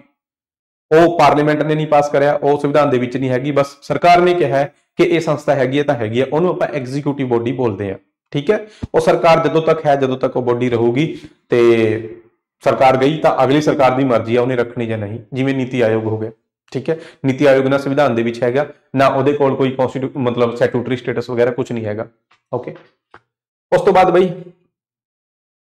ਜਿਹੜਾ ਨੈਸ਼ਨਲ ਹਿਊਮਨ ਰਾਈਟ ਕਮਿਸ਼ਨ ਹੈਗਾ, ਉਹ watchdog of human rights in India ਹੈਗਾ ਆ। ਮਤਲਬ ਜਿਹੜਾ ਨਿਗਰਾਨੀ ਕਰਦਾ ਹੈ, ਸਮਝ ਰਹੇ ਹੋ ਨਾ ਗੱਲ? ਜਿਹੜੇ ਆਪਣੇ ਮਾਨਵ ਅਧਿਕਾਰ ਹੈਗੇ ਆ, ਉਹਨਾਂ ਨੂੰ ਵਾਚਡੌਗ ਉਹਨਾਂ ਦਾ ਹੈਗਾ, ਉਹ ਮਤਲਬ ਉਹਨਾਂ ਦੀ ਨਿਗਰਾਨੀ ਕਰਦਾ ਇੱਕ ਤਰ੍ਹਾਂ ਨਾਲ, ਠੀਕ ਹੈ? ਤੇ ਇਹਦੇ ਚ ਕੀ ਹੁੰਦਾ ਵੀ ਚਾਰ ਮੈਂਬਰ ਹੁੰਦੇ ਆ, ਇੱਕ ਚੇਅਰਪਰਸਨ ਹੁੰਦਾ ਚੇਅਰਮੈਨ ਹੁੰਦਾ ਇਹਦਾ। ਠੀਕ ਹੈ ਪਹਿਲਾ ਚੇਅਰਮੈਨ ਕੌਣ ਸੀਗਾ? ਜਿਹੜਾ ਇਹ ਕੁਐਸਚਨ ਆਇਆ ਹੋਇਆ ਸੀਗਾ ਬਈ ਹੁਣੇ, ਜਸਟਿਸ ਰੰਗਨਾਥ ਮਿਸ਼ਰਾ ਸੀਗਾ। ਸਭ ਤੋਂ ਲੰਬੇ ਟਾਈਮ ਤੱਕ ਰਿਹਾ ਜਿਹੜਾ, ਉਹ ਸੀਗਾ ਕੇਜੀ ਬਾਲਾ ਕ੍ਰਿਸ਼ਨਨ ਇਹ ਕੁਐਸਚਨ ਵੀ ਆਲਰੇਡੀ ਆ ਚੁੱਕਿਆ। ਤੇ ਐਟ ਪ੍ਰੈਜ਼ੈਂਟ ਕੌਣ ਹੋ ਗਿਆ? ਅਰੁਣ ਕੁਮਾਰ ਮਿਸ਼ਰਾ। ਇਹ ਐਟ ਪ੍ਰੈਜ਼ੈਂਟ ਹੈ। ਆਪਣੇ ਪੇਪਰ 'ਚ ਜਾਣਦੇ ਹੋਏ ਇਹ ਜਰੂਰ ਚੈੱਕ ਕਰਕੇ ਜਾਣਾ ਕਿ ਪਤਾ ਤੁਸੀਂ ਕਦੋਂ ਇਹ ਵੀਡੀਓ ਦੇਖ ਰਹੇ ਹੋ। ਠੀਕ ਹੈ? ਮੈਂ 2022 ਦਸੰਬਰ ਦੇ ਵਿੱਚ ਇਹ ਵੀਡੀਓ ਰਿਕਾਰਡ ਕਰ ਰਿਹਾ। 2022 ਦਸੰਬਰ ਤੇ ਅੱਜ 30 ਦਸੰਬਰ ਹੈ। ਇਹ ਵੀ ਯਾਦ ਰੱਖ ਲਿਓ। ਠੀਕ ਹੈ? ਨੈਕਸਟ ਮੰਤਰੀ ਤੋਂ ਇਲਾਵਾ ਸੰਸਦ ਦੇ ਕਿਸੇ ਮੈਂਬਰ ਦੁਆਰਾ ਪੇਸ਼ ਕੀਤੇ ਗਏ ਬਿੱਲ ਨੂੰ ਕੀ ਕਿਹਾ ਜਾਂਦਾ ਹੈ? ਮੰਤਰੀ ਤੋਂ ਇਲਾਵਾ ਸੰਸਦ ਦੇ ਵਿੱਚ ਜੇ ਕੋਈ ਹੋਰ ਬੰਦਾ ਬਿੱਲ ਪੇਸ਼ ਕਰਦਾ ਹੈ, ਉਹਨੂੰ ਕਿਹਾ ਜਾਂਦਾ ਹੈ ਪ੍ਰਾਈਵੇਟ ਬਿੱਲ। ਕੀ ਕਿਹਾ ਜਾਂਦਾ ਹੈ? ਪ੍ਰਾਈਵੇਟ ਬਿੱਲ ਕਿਹਾ ਜਾਂਦਾ ਹੈ। ਮੰਤਰੀ ਤੋਂ ਇਲਾਵਾ ਜੇ ਕੋਈ ਹੋਰ ਕਰਦਾ ਹੈ, ਕੀ ਕਿਹਾ ਜਾਂਦਾ ਉਹਨੂੰ? Private bill. ਫਿਰ ਜੇ ਮੰਤਰੀ ਕਰਦਾ, ਉਹਨੂੰ ਕੀ ਕਿਹਾ ਜਾਂਦਾ ਹੈ? ਉਹਨੂੰ ਕਿਹਾ ਜਾਂਦਾ ਹੈ ਪਬਲਿਕ ਬਿੱਲ ਗਵਰਨਮੈਂਟ ਬਿੱਲ, ਸਰਕਾਰੀ ਬਿੱਲ ਜਾਂ ਆਫੀਸ਼ੀਅਲ ਬਿੱਲ। ਪਬਲਿਕ ਬਿੱਲ ਇਹ ਮੰਤਰੀ ਪੇਸ਼ ਕਰਦਾ ਹੈ, ਠੀਕ ਹੈ ਨਾ? ਮਿਨਿਸਟਰ ਇਹਨੂੰ ਪਬਲਿਕ ਬਿੱਲ ਬੋਲ ਸਕਦੇ ਆ ਆਫੀਸ਼ੀਅਲ ਬਿੱਲ ਬੋਲ ਸਕਦੇ ਆ, ਕਿਉਂਕਿ ਸਰਕਾਰ ਦੁਆਰਾ ਲਿਆਇਆ ਗਿਆ ਹੈ ਨਾ ਗਵਰਨਮੈਂਟ ਬਿੱਲ ਬੋਲ ਸਕਦੇ ਆ। ਤਾਂ ਬਿੱਲ ਮੇਨਲੀ ਮੋਟੇ ਤੌਰ ਤੇ ਦੋ ਹਿੱਸਿਆਂ 'ਚ ਤੁਸੀਂ ਵੰਡ ਸਕਦੇ ਹੋ। ਜੇ ਮੰਤਰੀ ਲੈ ਕੇ ਆ ਰਿਹਾ, ਇਹਦਾ ਮਤਲਬ ਸਰਕਾਰ ਲੈ ਕੇ ਆ ਰਹੀ ਹੈ ਬਈ, ਹਨਾ? ਗਵਰਨਮੈਂਟ ਬਿੱਲ ਬੋਲ ਦੋ ਆਫੀਸ਼ੀਅਲ ਬਿੱਲ ਬੋਲ ਦੋ, ਉਹਨੂੰ ਪਬਲਿਕ ਬਿੱਲ ਬੋਲ ਦੋ, ਸਰਕਾਰੀ ਬਿੱਲ ਬੋਲ ਦੋ। ਮੰਤਰੀ ਤੋਂ ਇਲਾਵਾ ਕੋਈ ਵੀ ਬੰਦਾ ਲੈ ਕੇ ਆ ਰਿਹਾ, ਭਾਵੇਂ ਰੂਲਿੰਗ ਪਾਰਟੀ ਦਾ ਹੀ ਲੈ ਕੇ ਆ ਰਿਹਾ, ਠੀਕ ਹੈ ਨਾ? ਉਹਨੂੰ ਆਪਾਂ ਪ੍ਰਾਈਵੇਟ ਬਿੱਲ ਬੋਲਾਂਗੇ, ਠੀਕ ਹੈ? ਤੇ ਪਾਸ ਹੋਣ ਦੇ ਚਾਂਸ ਕਿਹਦੇ ਜ਼ਿਆਦਾ ਹੁੰਦੇ ਆ? ਆਫ ਕੋਰਸ ਜਿਹੜਾ ਮੰਤਰੀ ਲੈ ਕੇ ਆਇਆ ਉਸ ਦੇ ਪਾਸ ਹੋਣ ਦੇ ਚਾਂਸ ਜ਼ਿਆਦਾ ਹੈ। ਜਿਹੜਾ ਪ੍ਰਾਈਵੇਟ ਬਿੱਲ ਹੈ, ਉਹਦੇ ਪਾਸ ਹੋਣ ਦੇ ਚਾਂਸ ਘੱਟੇ ਹੁੰਦੇ ਹੈ। ਓਕੇ ਅੱਜ ਤੱਕ ਇੰਡੀਆ ਦੇ ਵਿੱਚ ਸਿਰਫ 14 ਵਾਰ ਜਿਹੜੇ ਪ੍ਰਾਈਵੇਟ ਬਿੱਲ ਪਾਸ ਹੋਏ ਹੈ। ਓਕੇ ਯਾਦ ਰੱਖਣਾ ਨੈਕਸਟ ਹੇਠ ਲਿਖਿਆ ਵਿੱਚੋਂ ਕਿਸ ਕੋਲ ਰਾਜ ਦੇ ਮੁੱਖ ਸੂਚਨਾ ਕਮਿਸ਼ਨਰ ਨੂੰ ਹਟਾਉਣ ਦੀ ਸ਼ਕਤੀ ਹੈ? ਰਾਜ ਦਾ ਜਿਹੜਾ ਚੀਫ ਇਨਫੋਰਮੇਸ਼ਨ ਕਮਿਸ਼ਨਰ ਹੁੰਦਾ ਹੈ, ਉਹਨੂੰ ਹਟਾਉਣ ਦੀ ਪਾਵਰ ਹੁੰਦੀ ਹੈ ਵੀ ਰਾਜ ਦੇ ਗਵਰਨਰ ਦੇ ਕੋਲ। ਓਕੇ ਸਿੰਪਲ ਜੀ, ਗੱਲ ਹੈਗੀ ਹੈ ਓਕੇ ਚਲੋ ਫਿਰ ਨੈਕਸਟ ਕੁਐਸਚਨ ਤੇ ਆ ਜਾਓ। ਡੈਸ ਨੇ ਜੰਗਲੀ ਜੀਵ ਸੁਰੱਖਿਆ ਸੰਸ਼ੋਧਨ ਬਿੱਲ 2013 ਦੀ ਅਗਵਾਈ ਕੀਤੀ। ਓਕੇ ਕੁਐਸਚਨ ਪੰਜਾਬੀ ਚ ਵਧੀਆ ਨਹੀਂ ਬਣਿਆ। ਕੋਈ ਨਹੀਂ। ਮਤਲਬ ਕਿਹਦਾ ਰੋਲ ਰਿਹਾ ਜਿਹੜਾ ਵਾਈਲਡ ਲਾਈਫ ਪ੍ਰੋਟੈਕਸ਼ਨ ਬਿੱਲ ਆਇਆ ਸੀਗਾ? ਅਮੈਂਡਮੈਂਟ 2013 ਚ ਹੋਈ ਹੈ ਉਸ ਤੋਂ ਬਾਅਦ ਵੀ ਹੋਈ ਹੈ 2022 ਚ ਵੀ ਅਮੈਂਡਮੈਂਟ ਹੋਈ ਹੈ ਠੀਕ ਹੈ? ਓਕੇ ਤਾਂ ਵੈਸੇ ਜਿਹੜਾ ਵਾਈਲਡ ਲਾਈਫ ਪ੍ਰੋਟੈਕਸ਼ਨ ਐਕਟ ਸੀਗਾ, ਜਿਹੜਾ ਵਾਈਲਡ ਲਾਈਫ ਪ੍ਰੋਟੈਕਸ਼ਨ ਬਿੱਲ ਜਾਂ ਐਕਟ ਆਇਆ ਸੀ, ਉਹ ਤਾਂ 72 ਚ ਆਇਆ ਸੀ origignal ਜਿਹੜਾ ਸਭ ਤੋਂ ਪਹਿਲਾਂ ਸੀਗਾ, ਹਨਾ? ਉਹਨਾਂ ਸਾਰਿਆਂ ਪਿੱਛੇ ਇੱਕ ਸੰਸਥਾ ਦਾ ਰੋਲ ਰਿਹਾ, ਇੱਕ ਸੰਸਥਾ ਜਾਂ ਇੱਕ ਮੀਟਿੰਗ ਦਾ ਰੋਲ ਰਿਹਾ, ਜਿਹਨੂੰ ਆਪਾਂ ਬੋਲਦੇ ਹਾਂ sites C I T E S ਇਹਦੇ ਬਾਰੇ ਦੇਖਾਂਗੇ ਤੇ ਵਾਈਲਡ ਲਾਈਫ ਪ੍ਰੋਟੈਕਸ਼ਨ ਬਾਰੇ ਵੀ ਦੇਖਾਂਗੇ ਕਿ এনवायरमेंट ਦੇ ਕੁਐਸਚਨ ਬਹੁਤ ਆਉਂਦੇ ਆ ਪੇਪਰਾਂ ਦੇ ਵਿੱਚ ਅੱਜ ਕੱਲ ਵਾਈਲਡ ਲਾਈਫ ਪ੍ਰੋਟੈਕਸ਼ਨ ਐਕਟ ਜਿਹੜਾ ਮੇਨ ਹੈ ਸਭ ਤੋਂ ਪਹਿਲਾਂ ਆਇਆ ਸੀ ਉਹ 1972 ਦੇ ਵਿੱਚ ਆਇਆ ਸੀਗਾ। ਇੰਪੋਰਟੈਂਟ ਹੈ ਯਾਦ ਰੱਖਣਾ ਡਾਇਰੈਕਟ ਆ ਜਾਂਦਾ ਹੈ question wild life protection act ਕਦੋਂ ਆਇਆ? 1972 ਠੀਕ ਹੈ? ਇਸ ਨੇ ਕੀ ਕਰਿਆ? ਇਸ ਐਕਟ ਨੇ 6 ਸ਼ਡਿਊਲਾਂ ਦੇ ਵਿੱਚ 6 ਸ਼ਡਿਊਲਾਂ ਦੇ ਵਿੱਚ ਜਿਹੜੇ ਜਾਨਵਰ ਵਗੈਰਾ ਹੈਗੇ ਜਿਹੜੀ ਆਪਣੀ ਬਨਸਪਤੀ ਹੈਗੀ ਹੈ ਉਹਨਾਂ ਨੂੰ ਵੰਡਤਾ ਠੀਕ ਹੈ? ਮਤਲਬ ਜਿਨ੍ਹਾਂ ਨੂੰ ਜ਼ਿਆਦਾ ਖਤਰਾ, ਉਹਨਾਂ ਨੂੰ ਸ਼ਡਿਊਲ 1 ਹੋ ਗਿਆ, ਇਸ ਤੋਂ ਬਾਅਦ ਸ਼ਡਿਊਲ 2 ਸ਼ਡਿਊਲ 3 ਸ਼ਡਿਊਲ 5 ਸ਼ਡਿਊਲ 6 ਤੱਕ ਕਰਤੇ, ਹੈ ਨਾ? ਮਤਲਬ ਸਾਰੇ ਨੂੰ ਅਲੱਗ-ਅਲੱਗ ਕੈਟਾਗਰੀ ਦੇ ਵਿੱਚ ਰੱਖਿਆ ਹੋਇਆ। ਯਾਦ ਰੱਖਣਾ ਹੈ 6 ਸ਼ਡਿਊਲ ਹੈਗੇ ਆ ਵਾਈਲਡ ਲਾਈਫ ਪ੍ਰੋਟੈਕਸ਼ਨ ਐਕਟ ਦੇ ਅੰਦਰ, ਠੀਕ ਹੈ? ਸ਼ਡਿਊਲ 1 ਸ਼ਡਿਊਲ 2 ਇਹ ਜਿਹੜੇ ਹੈਗੇ ਆ, ਇਹਨਾਂ ਨੂੰ ਅਬਸੋਲੂਟ ਪ੍ਰੋਟੈਕਸ਼ਨ ਹੈ ਪੂਰੀ ਪ੍ਰੋਟੈਕਸ਼ਨ ਹੈਗੀ ਹੈ ਤੇ ਇਹਨਾਂ ਦਾ ਜੋ ਵੀ ਮਤਲਬ ਸ਼ਿਕਾਰ ਵਗੈਰਾ ਕਰਦਾ ਹੈ ਮਤਲਬ ਮੈਕਸਿਮਮ ਪਲੈਨਟੀ ਵਗੈਰਾ ਉਹਦੇ ਤੇ ਲੱਗਦੀ ਹੈ ਜੁਰਮ ਵਗੈਰਾ ਮੰਨਿਆ ਜਾਂਦਾ, ਹੈ ਨਾ? ਇਦਾਂ ਕਰਕੇ ਯਾਦ ਰੱਖਣਾ ਹੈ। ਤੇ ਜਿਹੜੇ ਪ੍ਰੋਟੈਕਟਡ ਏਰੀਆ ਹੈਗੇ ਆ, ਉਹ ਵੀ ਇਸੇ ਦੇ ਅੰਡਰ ਬਣੇ ਆ, ਜਿਵੇਂ ਨੈਸ਼ਨਲ ਪਾਰਕ ਹੋ ਗਏ ਸੈਂਚਰੀਜ਼ ਹੋ ਗਈਆਂ, ਹਨਾ? ਟਾਈਗਰ ਰਿਜ਼ਰਵ ਹੋ ਗਏ ਕਮਿਊਨਿਟੀ ਰਿਜ਼ਰਵ ਹੋ ਗਈ ਕੰਜ਼ਰਵੇਸ਼ਨ ਰਿਜ਼ਰਵ ਹੋ ਗਏ ਐਦਾਂ ਕਰਕੇ ਬਹੁਤ ਸਾਰੇ ਪ੍ਰੋਟੈਕਟਡ ਏਰੀਏ ਆਪਣੇ ਕੋਲ ਬਣੇ ਹੋਏ ਆ, ਸਾਰਾ ਇਸੇ ਐਕਟ ਦੇ ਤਹਿਤ ਬਣੇ ਆ, ਠੀਕ ਹੈ? ਇਸ ਤੋਂ ਜ਼ਿਆਦਾ ਡਿਟੇਲ ਆਪਾਂ এনवायरमेंट ਦੇ ਵਿੱਚ ਹੀ ਪੜਾਂਗੇ ਇਹਦੀ। ਤੇ ਸਾਈਟਸ ਬਾਰੇ ਵੀ ਦੇਖ ਲਓ, ਪਹਿਲੀ ਗੱਲ ਤਾਂ ਸਾਈਟਸ ਦੀ ਤੁਹਾਨੂੰ ਫੁੱਲ ਫਾਰਮ ਪਤਾ ਹੋਣੀ ਚਾਹੀਦੀ ਹੈ। ਕਨਵੈਨਸ਼ਨ ਕਨਵੈਨਸ਼ਨ ਕੀ ਹੁੰਦੀ ਹੈ? ਇੱਕ ਤਰ੍ਹਾਂ ਦੀ ਜਦੋਂ ਕੋਈ ਮੀਟਿੰਗ ਹੁੰਦੀ ਹੈ ਨਾ, ਬਹੁਤ ਵੱਡੀ, ਉਹਨੂੰ ਆਪਾਂ ਕਨਵੈਨਸ਼ਨ ਬੋਲ ਦਿੰਦੇ ਆ। Convention on international trade trade ਮਤਲਬ ਵਪਾਰ ਇੰਟਰਨੈਸ਼ਨਲੀ ਵਪਾਰ, ਕਿਹਦਾ? ਐਂਡੇਂਜਰਡ ਸਪੀਸੀਜ਼ ਐਂਡੇਂਜਰਡ ਸਪੀਸੀਜ਼ ਮਤਲਬ ਜਿਹੜੀ ਸਪੀਸੀ ਜਿਹੜੀ ਪ੍ਰਜਾਤੀਆਂ ਐਂਡੇਂਜਰਡ ਯਾਨੀ ਖਤਰੇ ਦੇ ਵਿੱਚ ਹੈ, ਠੀਕ ਹੈ? ਖਤਰੇ ਦੇ ਵਿੱਚ ਪ੍ਰਜਾਤੀਆਂ ਕਾਦੀ ਜੰਗਲੀ ਫਾਉਨਾ ਫਾਉਨਾ ਮਤਲਬ ਜਿਹੜੇ ਜੰਗਲੀ ਜੀਵ ਹੈਗੇ ਆ ਤੇ ਫਲੋਰਾ ਫਲੋਰਾ ਮਤਲਬ ਜਿਹੜੇ ਬਨਸਪਤੀ ਹੈਗੀ ਹੈ, ਠੀਕ ਹੈ? ਮਤਲਬ ਕਿ ਜਿਹੜੀ ਜੰਗਲੀ ਜੰਗਲੀ ਜੀਵ ਤੇ ਬਨਸਪਤੀ ਹੈਗੇ ਆ। ਕਿਹੜੇ? Endanger species. ਉਹਨਾਂ ਦੇ ਮਤਲਬ ਜਿਹੜੀ ਖਤਰੇ ਦੇ ਵਿੱਚ ਪ੍ਰਜਾਤੀਆਂ ਹੈਗੀਆਂ, ਉਹਨਾਂ ਦੇ ਇੰਟਰਨੈਸ਼ਨਲ ਟ੍ਰੇਡ ਉਹਨਾਂ ਦੇ ਅੰਤਰਰਾਸ਼ਟਰੀ ਵਪਾਰ ਦੇ ਉੱਤੇ ਇੱਕ ਮੀਟਿੰਗ ਹੋਈ ਹੈ ਕਨਵੈਨਸ਼ਨ ਹੋਈ ਹੈ। ਉਸੇ ਨੂੰ ਕਿਹਾ ਜਾਂਦਾ ਹੈ ਸਾਈਟਸ ਠੀਕ ਹੈ? ਇਹ ਉਹਦਾ ਲੋਗੋ ਹੈ। ਇਹ ਤੁਸੀਂ ਹੱਥੀ ਦਾ ਜਿਹੜਾ ਦੰਦ ਹੈ, ਉਹਦੇ ਵਿੱਚ ਦੇਖ ਸਕਦੇ ਹੋ। ਇਹ ਕੁਐਸਚਨ ਪੁੱਛਿਆ ਜਾਂਦਾ ਹੈ। ਸਾਈਟਸ ਦਾ ਜਿਹੜਾ ਲੋਗੋ ਹੈ, ਉਹਦੇ ਵਿੱਚ ਕਿਹਦੇ ਦੰਦ ਹੈਗੇ ਆ? ਜਾਂ ਮਤਲਬ ਕਿਹੜਾ ਜਾਨਵਰ ਇਨਕਲੂਡ ਕਰਿਆ ਗਿਆ, ਤਾਂ ਇਹ ਹਾਥੀ ਦੀ ਸ਼ੇਪ ਦੇ ਵਿੱਚ ਬਣਾਇਆ ਗਿਆ। ਦੇਖੋ, ਇੱਕ ਹਾਥੀ ਦੀ ਸੂੰਡ ਹੋ ਗਈ, ਹਨਾ? ਇਹ ਪੈਰ ਵਗੈਰਾ ਇਦਾਂ ਕਰਕੇ ਤੇ ਇਹ ਦੰਦ ਹੋ ਗਏ ਉਹਦੇ, ਹਨਾ? ਇਹ ਕਦੋਂ? 3 ਮਾਰਚ 1973 ਨੂੰ ਸਾਈਨ ਹੋਈ ਸੀ ਤੇ ਲਾਗੂ ਕਦੋਂ ਹੋਈ ਹੈ 1 ਜੁਲਾਈ 1975 ਨੂੰ। ਹੈੱਡਕੁਆਟਰ ਜਾਂ ਲੋਕੇਸ਼ਨ ਜਨੇਵਾ, ਸਵਿਟਜ਼ਰਲੈਂਡ, ਯਾਦ ਰੱਖ ਸਕਦੇ ਹੋ। ਠੀਕ ਹੈ? ਤੇ ਇਹ ਜਿਹੜੀ ਮੀਟਿੰਗ ਹੋਈ ਹੈ, ਇਹ IUCN ਦੇ ਮੈਂਬਰਾਂ ਦੀ ਹੋਈ ਸੀਗੀ। IUCN ਨੇ ਕਰੀ ਸੀਗੀ। IUCN ਸੰਸਥਾ ਹੈਗੀ ਹੈ international union for conservation of nature ਹਨਾ? ਇਹ ਯਾਦ ਰੱਖਣਾ, ਬਾਕੀ ਤੁਸੀਂ ਇਹਦੇ ਬਾਰੇ ਪੜ੍ਹ ਵੀ ਸਕਦੇ ਹੋ ਹੋਰ। ਤੇ ਕਿਉਂਕਿ এনवायरमेंट ਦਾ ਟੌਪਿਕ ਹੈ ਤੇ এনवायरमेंट ਅੱਜਕੱਲ ਬਹੁਤ ਜ਼ਿਆਦਾ ਟ੍ਰੈਂਡਿੰਗ ਦੇ ਵਿੱਚ ਹੈ। ਐਗਜ਼ਾਮ ਵਾਲੇ ਬਹੁਤ ਸਾਰੇ ਕੁਐਸਚਨ এনवायरमेंट ਤੋਂ ਪੁੱਛਦੇ ਆ। ਠੀਕ ਹੈ? ਬਾਕੀ ਇਹੀ ਹੈ ਇਹਨੂੰ ਵਾਸ਼ਿੰਗਟਨ ਕਨਵੈਨਸ਼ਨ ਵੀ ਕਹਿੰਦੇ ਆ। ਪੜ੍ਹ ਲਿਓ ਉਹਦੇ ਬਾਰੇ, ਠੀਕ ਹੈ? ਉਸ ਤੋਂ ਬਾਅਦ। ਭਾਰਤ ਵਿੱਚ ਹੇਠ ਲਿਖਿਆ ਵਿੱਚੋਂ ਕਿਹੜਾ ਫਸਲੀ ਮੌਸਮ ਨਹੀਂ ਹੈ? ਕ੍ਰੋਪਿੰਗ ਸੀਜ਼ਨ ਨਹੀਂ ਹੈ। ਠੀਕ ਹੈ, ਬੜਾ ਸਿੰਪਲ ਜਿਹਾ ਕੁਐਸਚਨ ਹੈ। ਕਿਹੜੇ ਕਿਹੜੇ ਮੌਸਮ ਆਪਣੇ ਹੈਗੇ ਆ? ਤਾਂ ਪੰਜਾਬ ਵਾਲਿਆਂ ਤੋਂ ਖਾਸ ਤੌਰ ਤੇ ਪਤਾ ਹੋਣਾ ਚਾਹੀਦਾ ਬਈ। ਹਨਾ, ਜੈਡ ਵੀ ਹੈਗਾ, ਰਬੀ ਵੀ ਹੈਗਾ, ਖਰੀਫ ਵੀ ਹੈਗਾ, ਇਹ ਨਹੀਂ ਹੈਗਾ ਬਈ। ਇਹ ਬਰਚਨ ਇਹ ਪਤਾ ਕੀ ਹੁੰਦਾ ਹੈ? ਇਹ ਹੁੰਦਾ ਹੈ ਉਹ ਰੇਗਿਸਤਾਨ ਦੇ ਵਿੱਚ ਤੁਸੀਂ ਰੇਤ ਦੇ ਟੀਲੇ ਦੇਖੇ ਆ? ਹਨਾ, ਜਦੋਂ ਰੇਤ ਇੱਕ ਥਾਂ ਤੋਂ ਉੱਡਦੀ ਹੈ, ਬਹੁਤ ਵੱਡੇ ਰੇਗਿਸਤਾਨ ਦੀ ਮੈਂ ਗੱਲ ਕਰ ਰਿਹਾ। ਹਨਾ, ਰੇਤ ਇੱਕ ਥਾਂ ਤੋਂ ਉੱਡਦੀ ਹੈ, ਦੂਜੀ ਥਾਂ ਤੇ ਸੈਟਲ ਡਾਊਨ ਹੋ ਜਾਂਦੇ ਆ, ਉਹ ਟੀਲੇ ਜੇ ਬਣ ਜਾਂਦੇ ਆ ਰੇਤ ਦੇ। ਉਹਨੂੰ ਕਿਹਾ ਜਾਂਦਾ ਹੈ, ਹਨਾ ਬਰਚਨ ਤੇ ਜੈਦ ਰਬੀ ਤੇ ਖਰੀਫ। ਰਬੀ ਹੈਗਾ ਆ ਬਈ ਹਾੜੀ ਦਾ ਮੌਸਮ, ਖਰੀਫ ਹੈਗਾ ਸੌਣੀ ਦਾ ਮੌਸਮ। ਠੀਕ ਹੈ? ਬਸ ਉਹੀ ਹੈ। ਰਬੀ ਦੀ ਫਸਲਾਂ ਕਿਹੜੀਆਂ? ਤਿੰਨ ਫਸਲਾਂ ਮੇਨ ਯਾਦ ਰੱਖੋ BMW ਰਬੀ ਦੀ BMW ਬੀ ਮਤਲਬ ਬਾਰਲੇ ਮਤਲਬ ਜੌਂ, M ਮਤਲਬ ਮਸਟਰਡ ਮਸਟਰਡ ਯਾਨੀ ਸਰੋਂ ਤੇ W ਮਤਲਬ ਕਣਕ ਵੀਟ ਠੀਕ ਹੈ? BMW ਰਬੀ ਦੀ BMW ਤੇ ਖਰੀਫ ਦੀ ਫਿਰ ਕਿਹੜੀ ਹੋਗੀ ਕਣਕ ਦੇ ਉਲਟ ਕੀ ਹੁੰਦਾ? ਝੋਨਾ ਹੋ ਗਿਆ, ਮੱਕੀ ਹੋ ਗਿਆ। ਕੋਟਨ ਹੋ ਗਿਆ ਗੰਨਾ ਹੋ ਗਿਆ ਇਹ ਸਾਰੀ ਖਰੀਫ ਦੀ ਫਸਲਾਂ ਹੋ ਗਈਆਂ। ਜੈੜ ਦੇ ਵਿੱਚ ਆਪਾਂ ਸਬਜ਼ੀ ਵਗੈਰਾ ਲਗਾਉਂਦੇ ਆ ਬਸ ਠੀਕ ਹੈ। ਨੈਕਸਟ ਆ ਜਾਓ। ਮਾਈ ਕੋਰਬੀਸਾਈਡ ਠੀਕ ਹੈ ਨਾ? ਮਾਈ ਕੋਰਬੀਸਾਈਡ ਇੱਕ ਜੜੀ ਬੂਟੀ ਨਾਸ਼ਕ ਹੈ। ਜੜੀ ਬੂਟੀ ਨਾਸ਼ਕ ਮਤਲਬ ਹਰਬੀਸਾਈਡ ਠੀਕ ਹੈ ਨਾ? ਹਰਬੀਸਾਈਡ ਜੜੀ ਬੂਟੀ ਨਾਸ਼ਕ ਜਿਹੜੇ ਪੇੜ ਪੌਦਿਆਂ ਨੂੰ ਕੀ ਕਰਦਾ ਹੈ? ਨਾਸ਼ ਕਰਦਾ ਹੈ ਉਹਨਾਂ ਦਾ ਠੀਕ ਹੈ? ਉਹ ਹੈਗਾ ਹੈ, ਕਿੱਥੋਂ ਲਿਆ ਗਿਆ? ਮਤਲਬ ਕਿੱਥੋਂ ਬਣਾਇਆ ਗਿਆ ਹੈ ਤਾਂ ਇਹ ਬਣਾਇਆ ਗਿਆ ਹੈ ਕਿੱਥੋਂ ਲਿਆ ਗਿਆ? ਫੰਗਸ ਤੋਂ। ਇਹ ਕਿੱਥੋਂ ਲਿਆ ਗਿਆ ਹੈ ਬਈ? ਫੰਗਸ ਤੋਂ, ਠੀਕ ਹੈ? ਯਾਦ ਰੱਖਣਾ ਹੈ। ਓਕੇ ਨੈਕਸਟ ਆ ਜਾਓ। ਥੋੜਾ ਜਿਹਾ ਟੈਕਨੋਲੋਜੀ ਤੋਂ ਕੁਐਸਚਨ ਹੈ, ਠੀਕ ਹੈ? ਕਲਾਊਡ ਕੰਪਿਊਟਿੰਗ ਕਲਾਊਡ ਕੰਪਿਊਟਿੰਗ ਦੇ ਵਿੱਚ IaaS ਦਾ ਕੀ ਮਤਲਬ ਹੈ? IaaS ਤਾਂ IaaS ਹੋ ਗਿਆ, ਇੱਕ SAS ਹੋ ਗਿਆ, ਇੱਕ PaaS ਹੋ ਗਿਆ। ਇਹ ਤਿੰਨ ਵਰਡ ਹੁੰਦੇ ਆ ਕਲਾਊਡ ਕੰਪਿਊਟਿੰਗ ਦੇ ਵਿੱਚ। IaaS ਦਾ ਮਤਲਬ ਹੈਗਾ infrastructure as a server infrastructure as a server ਤੇ ਬਾਕੀ ਬਚੇ ਦੋ ਵਰਡ ਇਹ ਵੀ ਨੋਟ ਕਰ ਲਿਓ। PaaS ਦਾ ਮਤਲਬ ਹੈਗਾ ਪਲੇਟਫਾਰਮ ਐਜ਼ ਅ ਸਰਵਿਸ ਤੇ SAS ਦਾ ਮਤਲਬ ਹੈਗਾ ਸੌਫਟਵੇਅਰ ਐਜ਼ ਅ ਸਰਵਿਸ ਠੀਕ ਹੈ? ਹਾਂ, ਇੱਥੇ ਸਰਵਰ ਹੈ, ਉੱਥੇ ਸਰਵਿਸ ਹੈ, ਕਦੇ ਕਨਫਿਊਜ਼ ਹੋ ਜਾਓ। ਠੀਕ ਹੈ? ਉਸ ਤੋਂ ਬਾਅਦ ਹੇਠ ਲਿਖੇ ਵਿੱਚ, ਵਿਸ਼ਿਆਂ ਵਿੱਚੋਂ ਕਿਸ ਵਿੱਚ ਸੰਸਦ ਨੂੰ ਭਾਰਤੀ ਸੰਵਿਧਾਨ ਅਨੁਸਾਰ ਕਾਨੂੰਨ ਬਣਾਉਣ ਦੀ ਵਿਸ਼ੇਸ਼ ਸ਼ਕਤੀ ਹੈ? ਸੰਸਦ ਕਿਸ ਦੇ ਉੱਤੇ ਕਾਨੂੰਨ ਬਣਾ ਸਕਦੀ ਹੈ? ਠੀਕ ਹੈ, ਸੰਸਦ। ਦੇਖੋ, ਇਹ ਕੁਐਸਚਨ ਥੋੜਾ ਜਿਹਾ ਧਿਆਨ ਨਾਲ ਦੇਖਣ ਦੀ ਜ਼ਰੂਰਤ ਹੈ। ਕਿਉਂਕਿ ਜਿਸਨੇ ਪੋਲਿਟੀ ਥੋੜੀ ਜਿਹੀ ਡਿਟੇਲ ਚ ਪੜ੍ਹੀ ਹੋਈ, ਦੇਖੋ, ਹੁਣ ਬੱਚਾ ਪਤਾ ਕੀ ਸੋਚੇਗਾ, ਯਾਰ, ਸੰਸਦ ਤਾਂ ਸਾਰਿਆਂ ਦੇ ਕਾਨੂੰਨ ਬਣਾ ਸਕਦੀ ਹੈ। ਬਟ ਨਹੀਂ, ਇੱਥੇ ਗੱਲ ਹੋਈ ਹੈ 7ਵੀਂ ਅਨੁਸੂਚੀ ਦੀ। 7ਵੀਂ ਅਨੁਸੂਚੀ ਦੇ ਵਿੱਚ ਤਿੰਨ ਲਿਸਟਾਂ ਹੈਗੀਆਂ, ਤੁਹਾਨੂੰ ਪਤਾ ਹੈ, ਮੈਂ ਬਹੁਤ ਵਾਰ ਦੱਸ ਚੁੱਕਿਆ। ਇੱਕ ਹੁੰਦੀ ਹੈ ਯੂਨੀਅਨ ਲਿਸਟ ਜਿਹਦੇ ਚ ਯੂਨੀਅਨ ਕਾਨੂੰਨ ਬਣਾ ਸਕਦੇ ਆ, ਯਾਨੀ ਸਿਰਫ ਸਿਰਫ ਆਪਣੀ ਸੰਸਦ ਹੈ ਜਿਹੜੀ ਉਹ ਕਾਨੂੰਨ ਬਣਾ ਸਕਦੀ ਹੈ, ਜੋ ਵੀ ਵਿਸ਼ੇ ਇਹਦੇ ਚ ਲਿਖੇ ਹੋਏ ਹੈ। ਇੱਕ ਹੁੰਦੀ ਹੈ ਸਟੇਟ ਲਿਸਟ ਯਾਨੀ ਇਹਦੇ ਚ ਰਾਜ ਰਾਜ ਦੀ ਜਿਹੜੀ ਵਿਧਾਨ ਸਭਾ ਹੁੰਦੀ ਹੈ, ਉਹ ਕਾਨੂੰਨ ਬਣਾ ਸਕਦੀ ਹੈ। ਤੇ ਇੱਕ ਹੁੰਦੀ ਹੈ ਕੌਨਕਰੈਂਟ ਲਿਸਟ ਸਮਕਾਲੀ ਜਾਂ ਸਮਵਰਤੀ ਸੂਚੀ, ਜਿਹਦੇ ਚ ਦੋਨੋਂ ਕਾਨੂੰਨ ਬਣਾ ਸਕਦੇ ਆ, ਹਨਾ?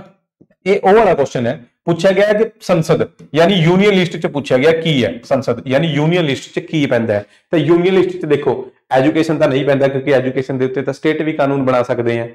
ਪੁਲਿਸ ਪੁਲਿਸ ਦੇ ਉੱਤੇ ਤਾਂ ਸਟੇਟ ਕਾਨੂੰਨ ਬਣਾ ਸਕਦਾ ਹੈ। ਬੈਂਕਿੰਗ ਬੈਂਕਿੰਗ ਦੇ ਉੱਤੇ ਦੋਨੇ ਕਾਨੂੰਨ ਨਹੀਂ ਬਣਾ ਸਕਦੇ, ਸਿਰਫ ਸੈਂਟਰ ਬਣਾ ਸਕਦਾ ਹੈ। ਸਿਰਫ ਸੈਂਟਰ ਇਹਦਾ ਮਤਲਬ ਸੀ ਆਊਗਾ ਇਹਦਾ ਆਨਸਰ ਸੀ ਠੀਕ ਹੈ? ਐਗਰੀਕਲਚਰ ਦੇ ਉੱਤੇ ਤਾਂ ਸਟੇਟ ਵੀ ਸਟੇਟ ਕਾਨੂੰਨ ਬਣਾਉਂਦਾ ਹੈ, ਠੀਕ ਹੈ? ਤਾਂ ਰਾਈਟ ਆਨਸਰ ਫਿਰ ਕੀ ਹੋ ਗਿਆ? ਸੀ ਹੋ ਗਿਆ ਬਾਈ। ਸਮਝਿਓ ਗੱਲ। ਪੱਕਾ ਨਾ? ਚਲੋ ਠੀਕ ਹੈ। ਉਸ ਤੋਂ ਬਾਅਦ ਭਾਰਤੀ ਸੰਵਿਧਾਨ ਦੀ ਹੇਠ ਲਿਖੀ ਧਾਰਾਵਾਂ, ਯਾਨੀ ਆਰਟੀਕਲ ਦੀ ਗੱਲ ਹੋ ਰਹੀ ਹੈ। ਭਾਰਤੀ ਸੰਵਿਧਾਨ ਦੇ ਹੇਠ ਲਿਖੇ ਆਰਟੀਕਲਾਂ ਵਿੱਚੋਂ ਕਿਹੜੇ ਵਿੱਚ ਚੋਣ ਸੰਬੰਧੀ ਮਾਮਲਿਆਂ ਵਿੱਚ ਅਦਾਲਤਾਂ ਦੁਆਰਾ ਦਖਲਅੰਦਾਜ਼ੀ ਤੋਂ ਰੋਕ ਲਗਾਈ ਗਈ ਹੈ? ਮਤਲਬ ਕਿਹੜਾ ਆਰਟੀਕਲ ਹੈ ਜਿਹੜਾ ਆਰਟੀਕਲ ਅਦਾਲਤਾਂ ਨੂੰ ਰੋਕਦਾ ਹੈ ਕਿ ਚੋ- ਜਿਹੜੇ ਇਲੈਕਸ਼ਨਾਂ ਦੇ ਮਾਮਲੇ ਆ, ਉਹਦੇ 'ਚ ਦਖਲਅੰਦਾਜ਼ੀ ਨਹੀਂ ਕਰਨੀ? ਠੀਕ ਹੈ? ਤਾਂ ਇਲੈਕਸ਼ਨ ਬਾਰੇ ਜੋ ਵੀ ਡਿਟੇਲ ਹੈਗੀ ਆਪਣੇ ਸੰਵਿਧਾਨ ਦੇ ਭਾਗ 15ਵੇਂ ਦੇ ਵਿੱਚ ਹੈ। ਕਿਹੜੇ ਭਾਗ ਦੇ ਵਿੱਚ ਹੈ? ਭਾਗ 15ਵਾਂ ਠੀਕ ਹੈ ਨਾ?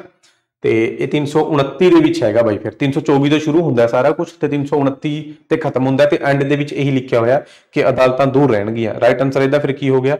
329 ਹੋ ਗਿਆ, ਹਨਾ? ਬਾਕੀ ਮੇਨ ਮੇਨ ਜੇ ਆਰਟੀਕਲ ਲਿਓ, ਇਹ ਲਿਓ। ਹਾਂਜੀ ਇਲੈਕਸ਼ਨ ਕਮਿਸ਼ਨ ਆਫ ਇੰਡੀਆ 25 ਜਨਵਰੀ 1950 ਨੂੰ ਬਣਿਆ ਸੀਗਾ, ਹਨਾ? ਤੇ 25 ਜਨਵਰੀ ਨੂੰ ਆਪਾਂ ਕਿਹੜਾ ਡੇ ਮਨਾਉਂਦੇ ਆ? ਮਤਦਾਤਾ ਦਿਵਸ ਮਨਾਉਂਦੇ ਆ ਨਾ ਵੋਟਰ ਡੇ ਹੈ ਨਾ ਤੇ ਇਲੈਕਸ਼ਨ ਕਿਹੜੇ ਭਾਗ ਦੇ ਵਿੱਚ ਹੈ? ਭਾਗ 15ਵੇਂ ਦੇ ਵਿੱਚ ਹੈ? 324 ਤੋਂ 329 ਤੱਕ ਇਹ ਭਾਗ ਚੱਲਦਾ ਹੈ ਬਈ। ਇਹ ਸਾਰੇ ਆਰਟੀਕਲ ਲਿਖੇ ਹੋਏ ਆ। 324 ਦੇ ਵਿੱਚ ਲਿਖਿਆ ਹੋਇਆ ਕਿ ਜੋ ਵੀ ਇਲੈਕਸ਼ਨ ਹੋਣਗੇ ਇਲੈਕਸ਼ਨ ਕਮਿਸ਼ਨ ਆਫ ਇੰਡੀਆ ਕਰਾਊਗਾ। ਹਨਾ? Election commission of India Bharat ਦਾ ਚੁਣਾਵ ਆਯੋਗ ਕਰਾਏਗਾ ਬਈ। 325 ਦੇ ਵਿੱਚ ਲਿਖਿਆ ਹੋਇਆ ਕਿ ਕਿਸੇ ਵੀ ਬੰਦੇ ਨੂੰ, ਕਿਸੇ ਵੀ ਬੰਦੇ ਨੂੰ ਉਹਦੇ ਧਰਮ ਦੇ ਆਧਾਰ ਤੇ, ਉਹਦੇ ਰੇਸ ਉਹਦੀ ਨਸਲ ਦੇ ਆਧਾਰ ਤੇ, ਉਹਦੇ ਕਾਸਟ ਉਹਦੀ ਜਾਤ ਦੇ ਆਧਾਰ ਤੇ ਜਾਂ ਉਹਦੇ ਸੈਕਸ ਯਾਨੀ ਲਿੰਗ ਦੇ ਆਧਾਰ ਤੇ ਵੋਟ ਮਤਦਾਤਾ ਸੂਚੀ ਵਗੈਰਾ ਦੇ ਵਿੱਚ ਸ਼ਾਮਿਲ, ਮਤਲਬ ਇਦਾਂ ਨਹੀਂ, ਮਤਲਬ ਉਹਦੇ ਨਾਲ ਭੇਦਭਾਵ ਨਹੀਂ ਹੋਊਗਾ, ਠੀਕ ਹੈ ਨਾ? ਉਹਨੂੰ ਸ਼ਾਮਿਲ ਕਰਨ ਤੋਂ ਨਹੀਂ ਰੋਕਿਆ ਜਾਊਗਾ, ਠੀਕ ਹੈ? ਉਹ ਸਾਰਾ ਕੁਝ ਹੈਗਾ ਆ।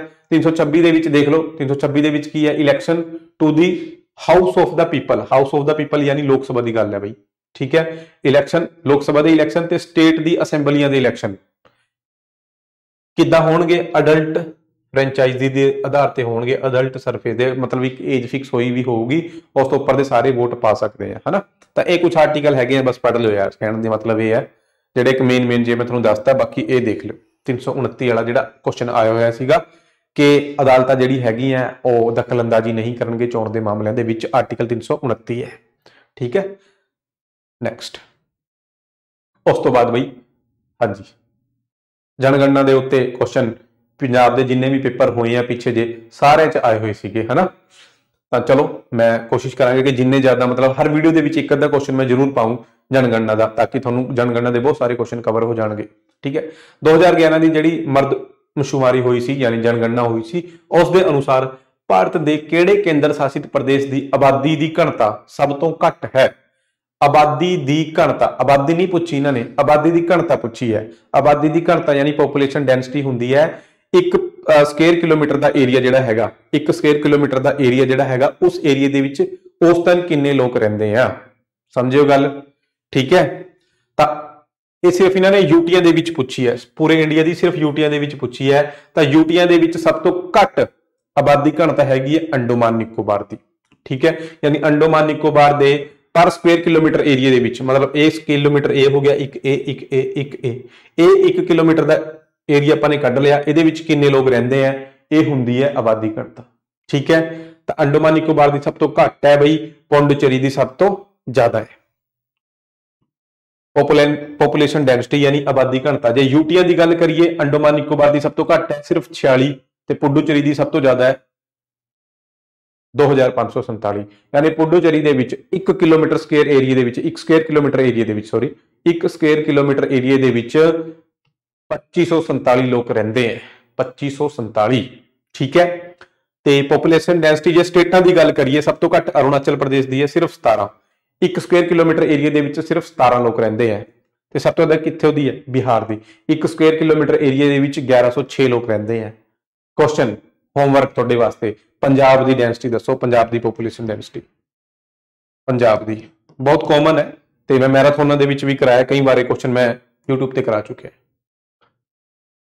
ਕਿਸ ਸਾਲ ਭਾਰਤੀ ਜੰਗਲਾਤ ਸੇਵਾ ਨੂੰ ਇੰਡੀਅਨ ਫੋਰੈਸਟ ਸਰਵਿਸ ਦੀ ਗੱਲ ਹੋ ਰਹੀ ਹੈ ਬਈ? ਇੰਡੀਅਨ ਫੋਰੈਸਟ ਸਰਵਿਸ ਨੂੰ ਤੀਜੀ ਅਖਿਲ ਭਾਰਤੀ ਸੇਵਾ ਵਜੋਂ ਸਥਾਪਿਤ ਕੀਤਾ ਗਿਆ ਸੀ। ਤੀਜੀ ਅਖਿਲ ਭਾਰਤੀ ਸੇਵਾ ਥਰਡ ਆਲ ਇੰਡੀਆ ਸਰਵਿਸ ਬਣਾਇਆ ਗਿਆ ਸੀ ਇੰਡੀਅਨ ਫੋਰੈਸਟ ਸਰਵਿਸ ਨੂੰ।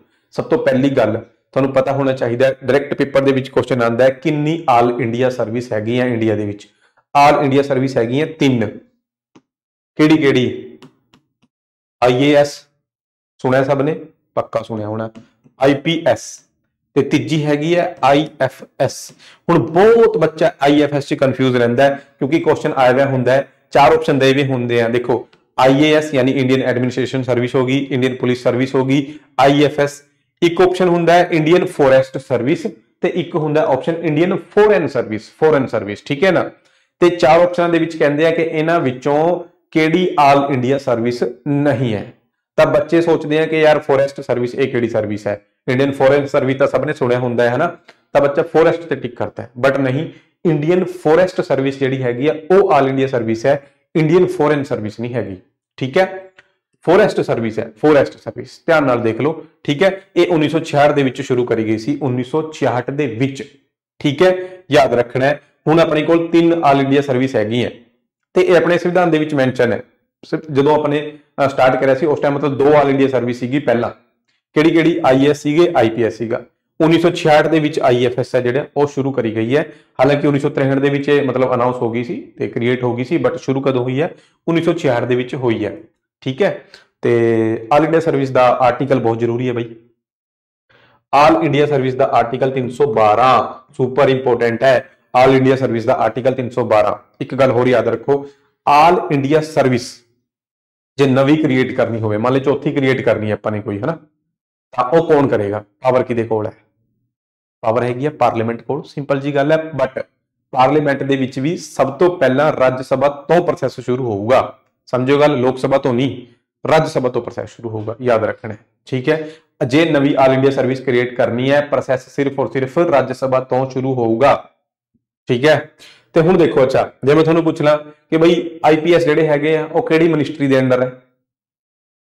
ਆਈਐਸ ਕਿਹੜੀ ਦੇ ਆ ਤੇ ਆਈਐਫਐਸ ਕਿਹੜੀ ਦੇ ਆਈਐਫਐਸ ਤਾਂ ਚਲੋ ਅੰਦਾਜ਼ਾ ਲੱਗ ਜੂਗਾ ਕਿ ਇਨਵਾਇਰਨਮੈਂਟ ਮਿਨਿਸਟਰੀ ਦੇ ਅੰਡਰ ਆਣਗੇ ਆਈਐਫਐਸ ਇੰਡੀਅਨ ਫੋਰੈਸਟ ਆਈਏਐਸ ਤੇ ਆਈਪੀਐਸ ਵਧੀਆ ਕੁਐਸਚਨ ਹੈ ਨਾ? कर लो नोट आई ए एस जे है ministry of personnel public grievances and pension ये मिनिस्ट्री के अंडर है तो I P S home ministry के है तो इंडियन फोरैसट का तो पता ही है ministry of environment forest and climate change ठीक है तो आल इंडिया सर्विस एक्ट कदों आया आल इंडिया सर्विस एक्ट आया उन्नीस सौ कवंजा। ये नोट कर लो बई आर्टिकल तीन सौ बारह है but all India service act आया उन्नीस सौ कवंजा। ये क्वेश्चन हो गए।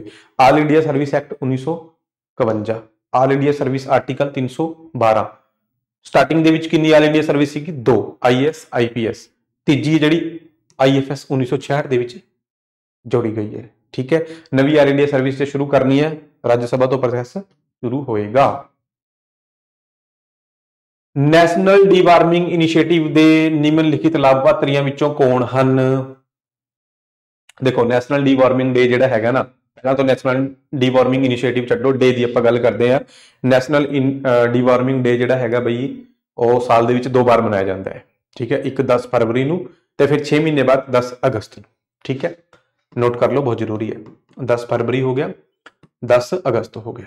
ਠੀਕ ਹੈ, ਹੁਣ ਦੇਖੋ, ਇਹ ਕੀ ਹੁੰਦਾ ਇੱਥੇ ਨਾ ਬੱਚਿਆਂ ਨੂੰ ਲੈ ਕੇ ਜਾਇਆ ਜਾਂਦਾ, ਸਕੂਲ ਵਗੈਰਾ ਚੋਂ ਤੁਸੀਂ ਗਏ ਹੋਣੇ ਸਾਰੇ, ਹਨਾ, ਜੇ ਫੈਮਿਲੀ ਚੋਂ ਗਏ ਹੋਣੇ ਛੋਟੇ ਬੱਚਿਆਂ ਨੂੰ ਪੇਟ 'ਚ ਕੀੜੇ ਨਹੀਂ ਹੋ ਜਾਂਦੇ, ਉਹ ਕੀੜੇ ਮਾਰਨ ਵਾਲੀ ਦਵਾਈ ਹੈ ਜਿਹੜੀ ਖਿਲਾਈ ਜਾਂਦੀ ਹੈ, ਠੀਕ ਹੈ, ਇਸ ਦਿਨ 10 ਫਰਵਰੀ 10 ਅਗਸਤ ਨੂੰ ਨੈਸ਼ਨਲ ਡੀਵਾਰਮਿੰਗ ਡੇ ਜਿਹੜਾ ਹੁੰਦਾ ਬੱਚਿਆਂ ਨੂੰ ਕੀੜੇ ਮਾਰਨ ਵਾਲੀ ਦਵਾਈ ਹੈ, ਉਹ ਖਿਲਾਈ ਜਾਂਦੀ ਹੈ, ਠੀਕ ਹੈ, ਤਾਂ ਫਿਰ ਕਿਹਨੂੰ ਬੈਨੀਫਿਟ ਮਿਲੇਗਾ, ਲਾਭਪਾਤਰੀ ਕੌਣ ਹੈ?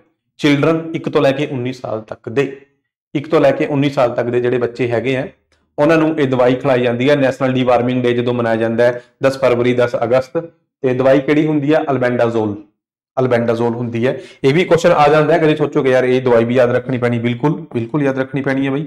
ਅਲਬੈਂਡਾ ਜੋਲ ਇਹ ਟੈਬਲੇਟ ਖਿਲਾਈ ਜਾਂਦੀ ਹੈ ਬੱਚਿਆਂ ਨੂੰ। ਇਹ ਟੈਬਲੇਟ ਖਿਲਾਈ ਜਾਂਦੀ ਹੈ ਬਈ, ਠੀਕ ਹੈ? ਅਲਬੈਂਡਾਜ਼ੋਲ, ਕੀੜੇ ਮਾਰਨ ਵਾਲੀ ਦਵਾਈ ਹੁੰਦੀ ਹੈ। 1900 ਸੌਰੀ 1849 ਵਿੱਚ 1849 ਵਿੱਚ ਪਰਮਹੰਸ ਮੰਡਲੀ ਦੀ ਸਥਾਪਨਾ ਕਿੱਥੇ ਹੋਈ ਸੀ? ਬੰਬੇ ਦੇ ਵਿੱਚ ਹੋਈ ਸੀ ਬਈ, ਕਿਹਨੇ ਕਰੀ ਸੀਗੀ? ਦੋ ਬੰਦਿਆਂ ਦੇ ਨਾਮ ਯਾਦ ਰੱਖੋ। ਕਿਹੜੇ ਕਿਹੜੇ ਐ ਇੱਕ ਤਾਂ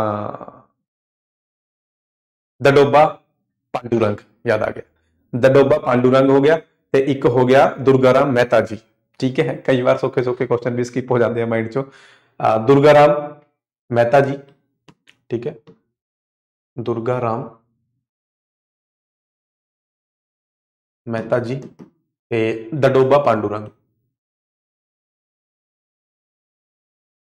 ਦਾ ਪਾਂਡੂਰੰਗ ਪਾਂਡੂ ਰੰਗ, ਠੀਕ ਹੈ? ਪਾਂਡੂ ਰੰਗ। ਓਕੇ ਕਰ ਲੈਣੋ ਠੀਕ ਹੈ? ਉਸ ਤੋਂ ਬਾਅਦ ਆ ਜਾਓ ਬਈ। ਹੇਠ ਲਿਖਿਆ ਵਿੱਚੋਂ ਕਿਹੜਾ ਮੌਲਿਕ ਅਧਿਕਾਰ ਸਿਰਫ ਭਾਰਤੀ ਨਾਗਰਿਕਾਂ ਨੂੰ ਦਿੱਤਾ ਗਿਆ ਹੈ?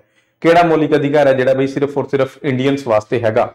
ਤਾਂ ਦੇਖੋ, ਮੌਲਿਕ ਅਧਿਕਾਰਾਂ ਦੇ ਵਿੱਚ ਇੱਕ ਲਾਈਨ ਦਾ ਰੱਟਾ ਮਾਰ ਕੇ ਰੱਖੋ, ਰੱਟਾ ਮਾਰ ਕੇ ਰੱਖੋ, ਜਿਹੜੇ ਸਿਰਫ ਇੰਡੀਅਨਸ ਨੂੰ ਮਿਲਦੇ ਆ।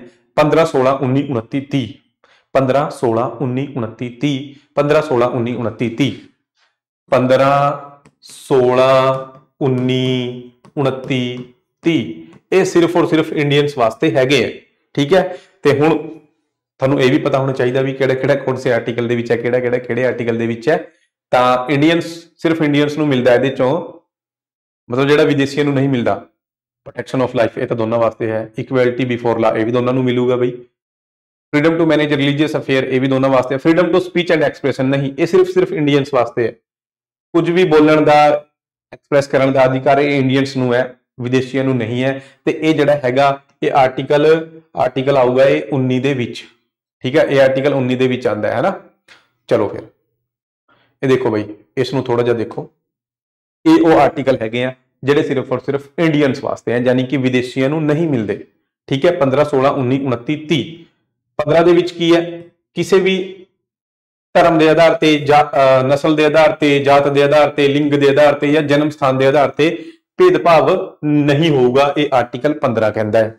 ਆਰਟੀਕਲ 16 ਕੀ ਕਹਿੰਦਾ ਹੈ? Equality of opportunity in matters of public employment ਜਿਹੜੇ ਸਰਕਾਰੀ ਰੋਜ਼ਗਾਰ ਦੇ ਮਾਮਲੇ ਹੈਗੇ ਆ, ਉਹਦੇ ਵਿੱਚ ਸਭ ਨੂੰ ਬਰਾਬਰ ਓਪਰਚੁਨਿਟੀ ਮਿਲੇਗੀ। ਠੀਕ ਹੈ, ਉਹਦੇ ਚ ਸਮਾਨਤਾ ਮਿਲੂਗੀ। ਆਰਟੀਕਲ 16 ਹੋ ਗਿਆ। ਇਹ ਵੀ ਸਿਰਫ ਇੰਡੀਅਨਸ ਵਾਸਤੇ ਹੈਗਾ ਆ। ਆਰਟੀਕਲ 19 ਸਿਕਸ ਰਾਈਟ ਹੈਗੇ ਆ ਫ੍ਰੀडम ਦੇ 6 6 ਤਰ੍ਹਾਂ ਦੀ ਆਜ਼ਾਦੀ, ਇੱਕ ਤਰ੍ਹਾਂ ਦਾ ਆਜ਼ਾਦੀਆਂ ਦਾ ਗੁੱਛਾ ਹੈਗਾ ਇਹ ਆਰਟੀਕਲ 19 ਤੇ ਇਹ ਸਿਰਫ ਇੰਡੀਅਨਸ ਵਾਸਤੇ ਹੈ। Freedom of speech and expression ਇਹ ਸੀਗਾ ਕੁਐਸਚਨ ਇਹ ਸਿਰਫ ਇੰਡੀਅਨਸ ਨੂੰ ਹੈ, ਕੁਝ ਵੀ ਬੋਲਣ ਦਾ ਤੇ ਵਿਅਕਤ ਕਰਨ ਦਾ ਅਧਿਕਾਰ। ਬੋਲਣ ਦਾ ਤੇ ਵਿਅਕਤ ਕਰਨ ਦਾ ਅਧਿਕਾਰ। ਅਭਿਵਿਅਕਤੀ ਕੀ? ਆਜ਼ਾਦੀ, ਜਿਹਨੂੰ ਆਪਾਂ ਹਿੰਦੀ 'ਚ ਬੋਲਦੇ ਆ ਠੀਕ ਹੈ ਨਾ? ਇਹ ਸੀਗਾ ਉਹ। ਬਟ ਇਹ ਨਹੀਂ ਕਿ ਕੁਝ ਵੀ ਬੋਲਣ ਦਾ ਅਧਿਕਾਰ ਹੈ, ਦੇਸ਼ ਦੇ ਖਿਲਾਫ ਬੋਲੀ ਜਾਓ। ਠੀਕ ਹੈ, ਦੇਸ਼ ਦੇ ਖਿਲਾਫ ਨਹੀਂ। ਜੇ ਅਧਿਕਾਰ ਦਈ ਹੈ, ਆਜ਼ਾਦੀਆਂ ਦਈ ਹੈ, ਤਾਂ ਉਹਨਾਂ ਦੇ ਉੱਤੇ ਪਾਬੰਦੀਆਂ ਵੀ ਹੈਗੀ ਹੈ। ਠੀਕ ਹੈ ਨਾ? ਇਹ ਨਹੀਂ ਕਿ ਹਾਂ, ਮੇਰੇ ਕੋਲ ਕੁਝ ਵੀ ਬੋਲਣ ਦਾ ਅਧਿਕਾਰ ਹੈ, ਤਾਂ ਬਗਾਨੇ ਬੰਦੇ ਨੂੰ ਗਾਲਾਂ ਹੀ ਕੱਢੀ ਚੱਲੋ। ਇਹ ਨਹੀਂ ਹੁੰਦਾ। ਠੀਕ ਹੈ? ਬਾਕੀ ਇਹ ਹੈਗੇ ਆ ਬਈ, ਪੜ੍ਹ ਲਿਓ। ਠੀਕ ਹੈ? ਅਲੱਗ-ਅਲੱਗ ਤਰ੍ਹਾਂ ਦੇ 6 ਅਧਿਕਾਰ ਹੈਗੇ ਆ।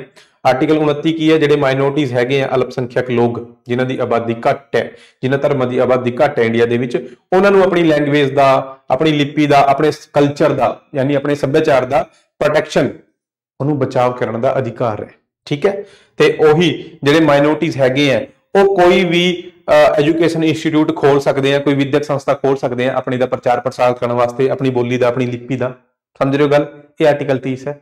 ਤਾਂ ਇਹ ਸਿਰਫ ਇੰਡੀਅਨਸ ਵਾਸਤੇ ਹੈ 15 16 19 29 30 15 16 19 29 30 15 16 19 29 30 ਚਲੋ ਬਸ, ਬਹੁਤ ਹੋ ਗਿਆ ਨਾ ਦਿਮਾਗ ਦਾ ਕਿਹੜਾ ਹਿੱਸਾ? ਅਣਇੱਛਿਤ ਕਿਰਿਆਵਾਂ, ਜਿਵੇਂ ਕਿ ਲਾਰ ਬਲੱਡ ਪ੍ਰੈਸ਼ਰ ਨੂੰ ਕੰਟਰੋਲ ਕਰਦਾ ਹੈ। ਦੇਖੋ, ਦਿਮਾਗ ਦੇ ਵਿੱਚ ਤਿੰਨ ਹਿੱਸੇ ਆਪਣੇ ਹੁੰਦੇ ਆ, ਹਨਾ? ਜਿਹੜਾ ਇਹ ਸਭ ਤੋਂ ਵੱਡਾ ਹਿੱਸਾ ਹੁੰਦਾ, ਜਿਹੜਾ ਸਭ ਤੋਂ ਮੇਨ ਹੁੰਦਾ ਹੈ ਨਾ ਉਹਨੂੰ ਆਪਾਂ ਬੋਲਦੇ ਆ ਫੋਰ ਬ੍ਰੇਨ ਕਿਹੜਾ ਬੋਲਦੇ ਆ? ਫੋਰ ਬ੍ਰੇਨ ਤੇ ਇਹ ਜਿਹੜਾ ਗੁੱਦੀ 'ਚ ਹੁੰਦਾ ਪਿੱਛੇ, ਹਨਾ? ਛੋਟਾ ਦਿਮਾਗ ਜਿਹਨੂੰ ਬੋਲਦੇ ਆ, ਜਿਹੜਾ ਵੀ ਇੱਥੇ ਨਹੀਂ ਮਾਰਨਾ ਚਾਹੀਦਾ ਤੇ ਛੋਟਾ ਦਿਮਾਗ ਹੁੰਦਾ। ਇਹਨੂੰ ਆਪਾਂ ਬੋਲਦੇ ਆ ਹਿੰਡ ਬ੍ਰੇਨ। ਕੀ ਬੋਲਦੇ ਆ? Hind brain. ਤੇ ਦੋਹਾਂ ਦੇ ਵਿੱਚ, ਵਿਚਕਾਰ ਅੰਦਰਲੀ ਸਾਈਡ ਹੁੰਦਾ ਮਿਡ ਬ੍ਰੇਨ ਠੀਕ ਹੈ? ਕੀ ਹੁੰਦਾ? ਮਿਡ ਬ੍ਰੇਨ ਤਾਂ ਜਿਹੜਾ ਆਪਣਾ ਹਿੰਡ ਬ੍ਰੇਨ ਹੁੰਦਾ, ਇੱਥੇ ਇੱਕ ਹੁੰਦੀ ਹੈ ਗ੍ਰੰਥੀ ਮੈਡੂਲਾ, ਜਾਂ ਮੈਡੂਲਾ ਓਬਲੰਗਾਟਾ ਵੀ ਉਹਨੂੰ ਬੋਲਦੇ ਆ। ਕੀ ਬੋਲਦੇ ਆ? Medulla oblongata. ਠੀਕ ਹੈ ਤਾਂ ਮੈਡੂਲਾ ਓਬਲੰਗਾਟਾ ਜਿਹੜਾ ਹੈਗਾ, ਉਹ ਜਿਵੇਂ ਕਿ ਲਾਰ ਬਲੱਡ ਪ੍ਰੈਸ਼ਰ ਵਗੈਰਾ, ਇਹਨੂੰ ਕੰਟਰੋਲ ਕਰਨ ਦੇ ਵਿੱਚ ਹੈਲਪ ਕਰਦਾ ਹੈ। ਠੀਕ ਹੈ? ਯਾਦ ਰੱਖਣਾ। ਬਾਕੀ ਦੇਖੋ, ਇੱਕ ਆਪਸ਼ਨ ਇਹ ਦੇਖੋ ਬਈ, ਜਿਹੜਾ ਪਿਟਿਊਟਰੀ ਗਲੈਂਡ ਹੈ ਨਾ ਪਿਟਿਊਟਰੀ ਗ੍ਰੰਥੀ, ਇਹਨੂੰ ਹਿੰਦੀ 'ਚ ਆਪਾਂ ਪਿਊਸ ਗ੍ਰੰਥੀ ਵੀ ਬੋਲਦੇ ਆ। ਕੀ ਬੋਲਦੇ ਆ? ਪਿਊਸ ਗ੍ਰੰਥੀ। ਤੇ ਇਹਨੂੰ ਮਾਸਟਰ ਗ੍ਰੰਥੀ ਵੀ ਬੋਲ ਸਕਦੇ ਆ ਆਪਾਂ, ਮਾਸਟਰ ਗ੍ਰੰਥੀ, ਮਾਸਟਰ ਗਲੈਂਡ ਠੀਕ ਹੈ? ਸਭ ਤੋਂ ਛੋਟੀ ਗ੍ਰੰਥੀ ਹੈ ਆਪਣੇ ਸਰੀਰ ਦੇ ਵਿੱਚ। ਆਪਣੇ ਸਰੀਰ ਦੀ ਸਭ ਤੋਂ ਛੋਟੀ ਗ੍ਰੰਥੀ ਸਮਾਲੈਸਟ ਗਲੈਂਡ ਕਿਹੜਾ ਹੈ? ਪਿਟਿਊਟਰੀ ਹੈ, ਸਮਾਲੈਸਟ, ਸਭ ਤੋਂ ਛੋਟੀ ਗ੍ਰੰਥੀ। ਬ੍ਰੇਨ ਦੇ ਵਿੱਚ ਹੀ ਮਿਲਦੀ ਹੈ ਇਹ। ਬ੍ਰੇਨ ਦੇ ਵਿੱਚ ਹੀ ਹੈ ਆਕਾਰ ਪਤਾ ਕਿਹੋ ਜਿਹਾ ਮਟਰ ਤੇ ਮਟਰ ਦਾ ਦਾਣਾ ਜਿਹੜਾ ਹੁੰਦਾ, ਉਸ ਤੋਂ ਵੀ ਛੋਟਾ ਆਕਾਰ ਇਹਦਾ ਹੁੰਦਾ ਮਟਰ ਦੇ ਦਾਣੇ ਵਰਗਾ, ਠੀਕ ਹੈ? ਬਟ ਸਭ ਤੋਂ ਮੇਨ ਕੰਮ ਇਹਦਾ ਹੀ ਹੁੰਦਾ ਹੈ ਕਿਹੜਾ? ਜਿਹੜੇ ਗਰੋਥ ਹਾਰਮੋਨ ਹੁੰਦੇ ਆ ਨਾ, ਸਰੀਰ ਨੂੰ ਗਰੋਥ ਕਰਦੇ ਆ ਗਰੋਥ ਹਾਰਮੋਨ ਉਹਨਾਂ ਨੂੰ ਛੱਡਦਾ ਹੈ। ਪਿਟਿਊਟਰੀ ਗ੍ਰੰਥੀ ਉਹਨਾਂ ਨੂੰ ਛੱਡਦੀ ਹੈ, ਠੀਕ ਹੈ? ਗਰੋਥ ਹਾਰਮੋਨਸ ਨੂੰ ਪੈਦਾ ਕਰਦੀ ਹੈ, ਛੱਡਦੀ ਹੈ। ਦਿਮਾਗ ਦੇ ਵਿੱਚ ਹੁੰਦੀ ਹੈ, ਸਭ ਤੋਂ ਛੋਟੀ ਗ੍ਰੰਥੀ ਹੁੰਦੀ ਹੈ। ਗਰੋਥ ਹਾਰਮੋਨ ਛੱਡਣ ਕਰਕੇ ਇਹਨੂੰ ਆਪਾਂ ਮਾਸਟਰ ਗ੍ਰੰਥੀ ਬੋਲਦੇ ਹਾਂ। ਕੀ ਬੋਲਦੇ ਹਾਂ? ਮਾਸਟਰ ਗ੍ਰੰਥੀ, ਠੀਕ ਹੈ? ਬਾਕੀ ਕਦੀ ਬਾਇਓਲੋਜੀ ਪੜਾਂਗੇ ਫਿਰ ਦੱਸੂਗਾ। ਛੱਡ ਦੋ ਇਹਨੂੰ ਕੁਝ ਨਹੀਂ ਹੈਗਾ। ਚਲੋ ਨੈਕਸਟ ਹਾਂਜੀ ਇੰਟਰਪੋਲ ਦਾ ਮੁੱਖ ਦਫ਼ਤਰ ਕਿਸ ਦੇਸ਼ ਦੇ ਵਿੱਚ ਹੈ? ਇੰਟਰਪੋਲ ਇੰਟਰਪੋਲ ਕੀ ਹੈ? ਇੰਟਰਪੋਲ ਦਾ ਮਤਲਬ ਹੈ, ਦੇਖੋ ਬਈ ਇੰਟਰਪੋਲ ਦਾ ਮਤਲਬ ਹੈ ਆਈ ਸੀ ਪੀ ਓ ਆਈ ਦਾ ਮਤਲਬ ਹੈ ਇੰਟਰਨੈਸ਼ਨਲ ਸੀ ਦਾ ਮਤਲਬ ਹੈ ਕ੍ਰਾਈਮ ਪੀ ਦਾ ਮਤਲਬ ਹੈ ਪੁਲਿਸ ਓ ਦਾ ਮਤਲਬ ਹੈ organisation international crime police organisation ਇਹ ਹੈਗਾ, ਯਾਨੀ ਕਿ ਇੰਟਰਪੋਲ ਇਹਨੂੰ ਸ਼ੋਰਟ ਦੇ ਵਿੱਚ ਆਪਾਂ ਬੋਲਦੇ ਆ ਜਾਂ ਫਿਰ ਕਈ ਵਾਰ ਇਹਨੂੰ ਆਪਾਂ ਇੰਟਰਨੈਸ਼ਨਲ ਪੁਲਿਸ ਵੀ ਬੋਲ ਦਿੰਦੇ ਆ ਕਈ ਵਾਰ। ਠੀਕ ਹੈ ਇੰਟਰਪੋਲ ਮਤਲਬ ਦੇਖੋ international P O L police international police ਬੋਲ ਦੋ, ਜਾਂ ਫਿਰ ਜਿਹੜਾ ਪ੍ਰੋਪਰ ਨਾਮ ਇਹਦਾ ਹੈਗਾ, ਉਹ ਹੈਗਾ ਆਈਸੀਪੀਓ ਕੀ ਹੈ? ICPO international criminal police organisation ਠੀਕ ਹੈ? ਇਹ ਯਾਦ ਰੱਖਣਾ ਹੈ। ਇਹਦਾ ਹੈੱਡਕੁਆਟਰ ਹੈਗਾ ਫਰਾਂਸ ਦੇ ਵਿੱਚ। ਫਰਾਂਸ ਦਾ ਕਿਹੜਾ ਸ਼ਹਿਰ ਹੈ? ਫਰਾਂਸ ਦਾ ਸ਼ਹਿਰ ਹੈਗਾ ਬਈ ਲਿਓਨ। ਫਰਾਂਸ ਦਾ ਕਿਹੜਾ ਸ਼ਹਿਰ ਹੈ? ਲਿਓਨ ਸ਼ਹਿਰ ਹੈਗਾ। ਬਸ ਇਹ ਯਾਦ ਰੱਖਣਾ ਹੈ। ਓਕੇ? ਬਹੁਤ ਹੈ। ਚਲੋ ਫਿਰ ਨੈਕਸਟ ਅੱਗੇ ਆ ਜਾਓ ਫਟਾਫਟ। ਇੰਡੀਅਨ ਪੁਲਿਸ ਸਰਵਿਸ ਯਾਨੀ ਆਈਪੀਐਸ ਆਪਣੇ ਮੋਢਿਆਂ ਤੇ ਜੋ ਮਿਲਟਰੀ ਚਿੰਨ੍ਹ ਦੀ ਵਰਤੋਂ ਕਰਦੀ ਹੈ ਹੇਠ ਹੇਠ ਦਿੱਤੇ ਦੇਸ਼ ਦੀ ਪੁਲਿਸ ਫੋਰਸ ਦੇ ਸਮਾਨ ਹੈ। ਯਾਨੀ ਆਪਣੇ ਜਿਹੜੇ ਆਈਪੀਐਸ ਹੈਗੇ, ਮੋਢਿਆਂ ਤੇ ਜੋ ਵੀ ਉਹ ਮਿਲਟਰੀ ਚਿੰਨ ਵਰਤਦੇ ਆ, ਹਨਾ, ਉਹ ਕਿਹੜੇ ਦੇਸ਼ ਤੋਂ ਲਿਆ ਗਿਆ ਜਾਂ ਕਿਹੜੇ ਦੇਸ਼ ਦੇ ਬਰਾਬਰ, ਮਤਲਬ ਕਿਹੜੇ ਦੇਸ਼ ਦੇ ਸਮਾਨ ਮਿਲਦਾ ਜੁਲਦਾ ਤਾਂ ਨੋਰਮਲ ਜੀ ਗੱਲ ਹੈ ਯੂਕੇ ਦੇ ਹੋਊਗਾ। ਠੀਕ ਹੈ ਨਾ? ਆਪਣਾ ਜ਼ਿਆਦਾਤਰ ਚੀਜ਼ਾਂ ਕਿਹਦੇ ਨਾਲ ਮੈਚ ਕਰਦੀਆਂ? ਯੂਕੇ ਨਾਲ ਮੈਚ ਕਰਦੇ ਕਿਉਂਕਿ ਉਹਨਾਂ ਨੇ ਰੂਲ ਕਰਿਆ ਨਾ ਆਪਣੇ ਤੇ, ਉਹਨਾਂ ਨੇ ਰਾਜ ਕਰਿਆ, ਹਨਾ, ਉਹੀ ਹਿਸਾਬ ਕਿਤਾਬ ਹੈ। ਭਾਰਤ ਆਉਣ ਵਾਲਾ ਪਹਿਲਾ ਪੁਰਤਗਾਲੀ, ਇਹ ਨਿਆਣੇ ਵਾਲਾ ਕੁਐਸਚਨ ਹੈ। ਵਾਸਕੋ ਡੀ ਗਾਮਾ ਬਈ, ਪਤਾ ਨਾ ਸਾਰਿਆਂ ਨੂੰ, ਠੀਕ ਹੈ। ਚਲੋ ਥੋੜੀ ਜਿਹੀ ਡਿਟੇਲ ਆਪਾਂ ਹੋਰ ਦੇਖਦੇ ਹਾਂ। ਇਹ ਸਲਾਈਡ ਆਪਾਂ ਡਿਸਕਸ ਕਰਦੇ ਹਾਂ, ਠੀਕ ਹੈ? ਤੇ 30 ਕੁਐਸਚਨ ਆਪਣੇ ਹੋ ਗਏ ਆ।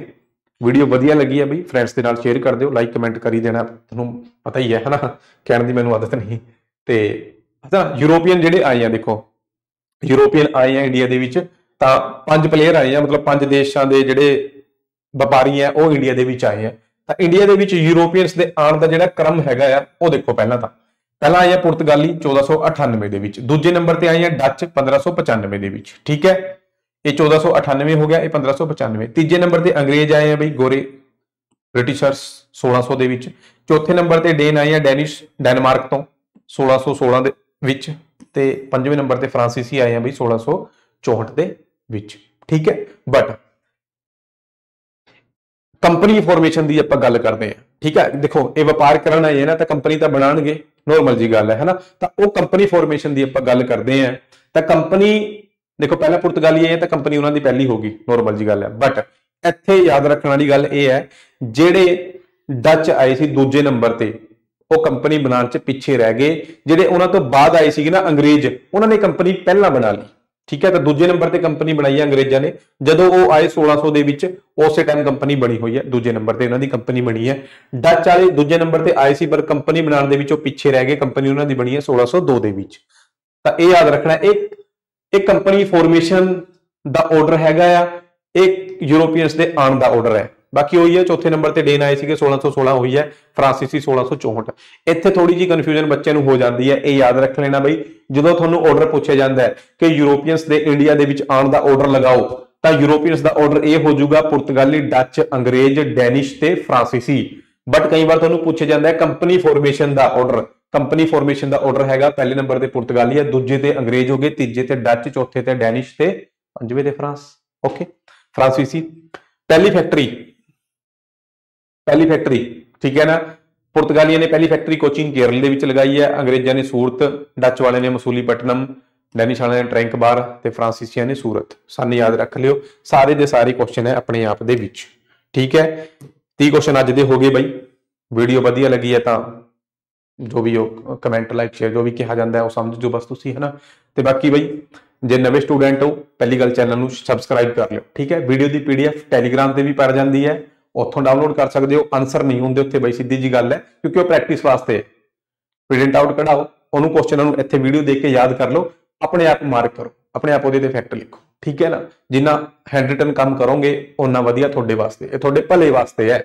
ਠੀਕ ਹੈ? ਕਈ ਵਾਰ ਆਨਸਰ 'ਚ ਡਾਊਟ ਹੁੰਦਾ ਹੈ ਵੀਡੀਓ ਦੇਖਣ ਦਾ ਟਾਈਮ ਨਹੀਂ ਹੈਗਾ, ਕੋਈ ਚੱਕਰ ਨਹੀਂ। ਇੰਸਟਾਗ੍ਰam ਦੇ ਉੱਤੇ ਸਾਰੀ ਦੀ ਸਾਰੀ ਜਿਹੜੀ ਫੋਟੋਆਂ ਹੈਗੀਆਂ, ਮੈਂ ਅਪਲੋਡ ਕਰ ਦਿੰਦਾ ਪੂਰੀ ਦੀ ਪੂਰੀ ਪੀਡੀਐਫ ਠੀਕ ਹੈ? ਕਲਰ ਦੇ ਵਿੱਚ। ਉੱਥੇ ਤੁਸੀਂ ਦੇਖ ਸਕਦੇ ਹੋ ਆਨਸਰ ਬਟ ਤੁਸੀਂ ਜਿੰਨਾ ਹੈਂਡ ਰਿਟਨ ਕੰਮ ਕਰੋਗੇ, ਤੁਹਾਡੇ ਵਾਸਤੇ ਉਹਨਾਂ ਵਧੀਆ।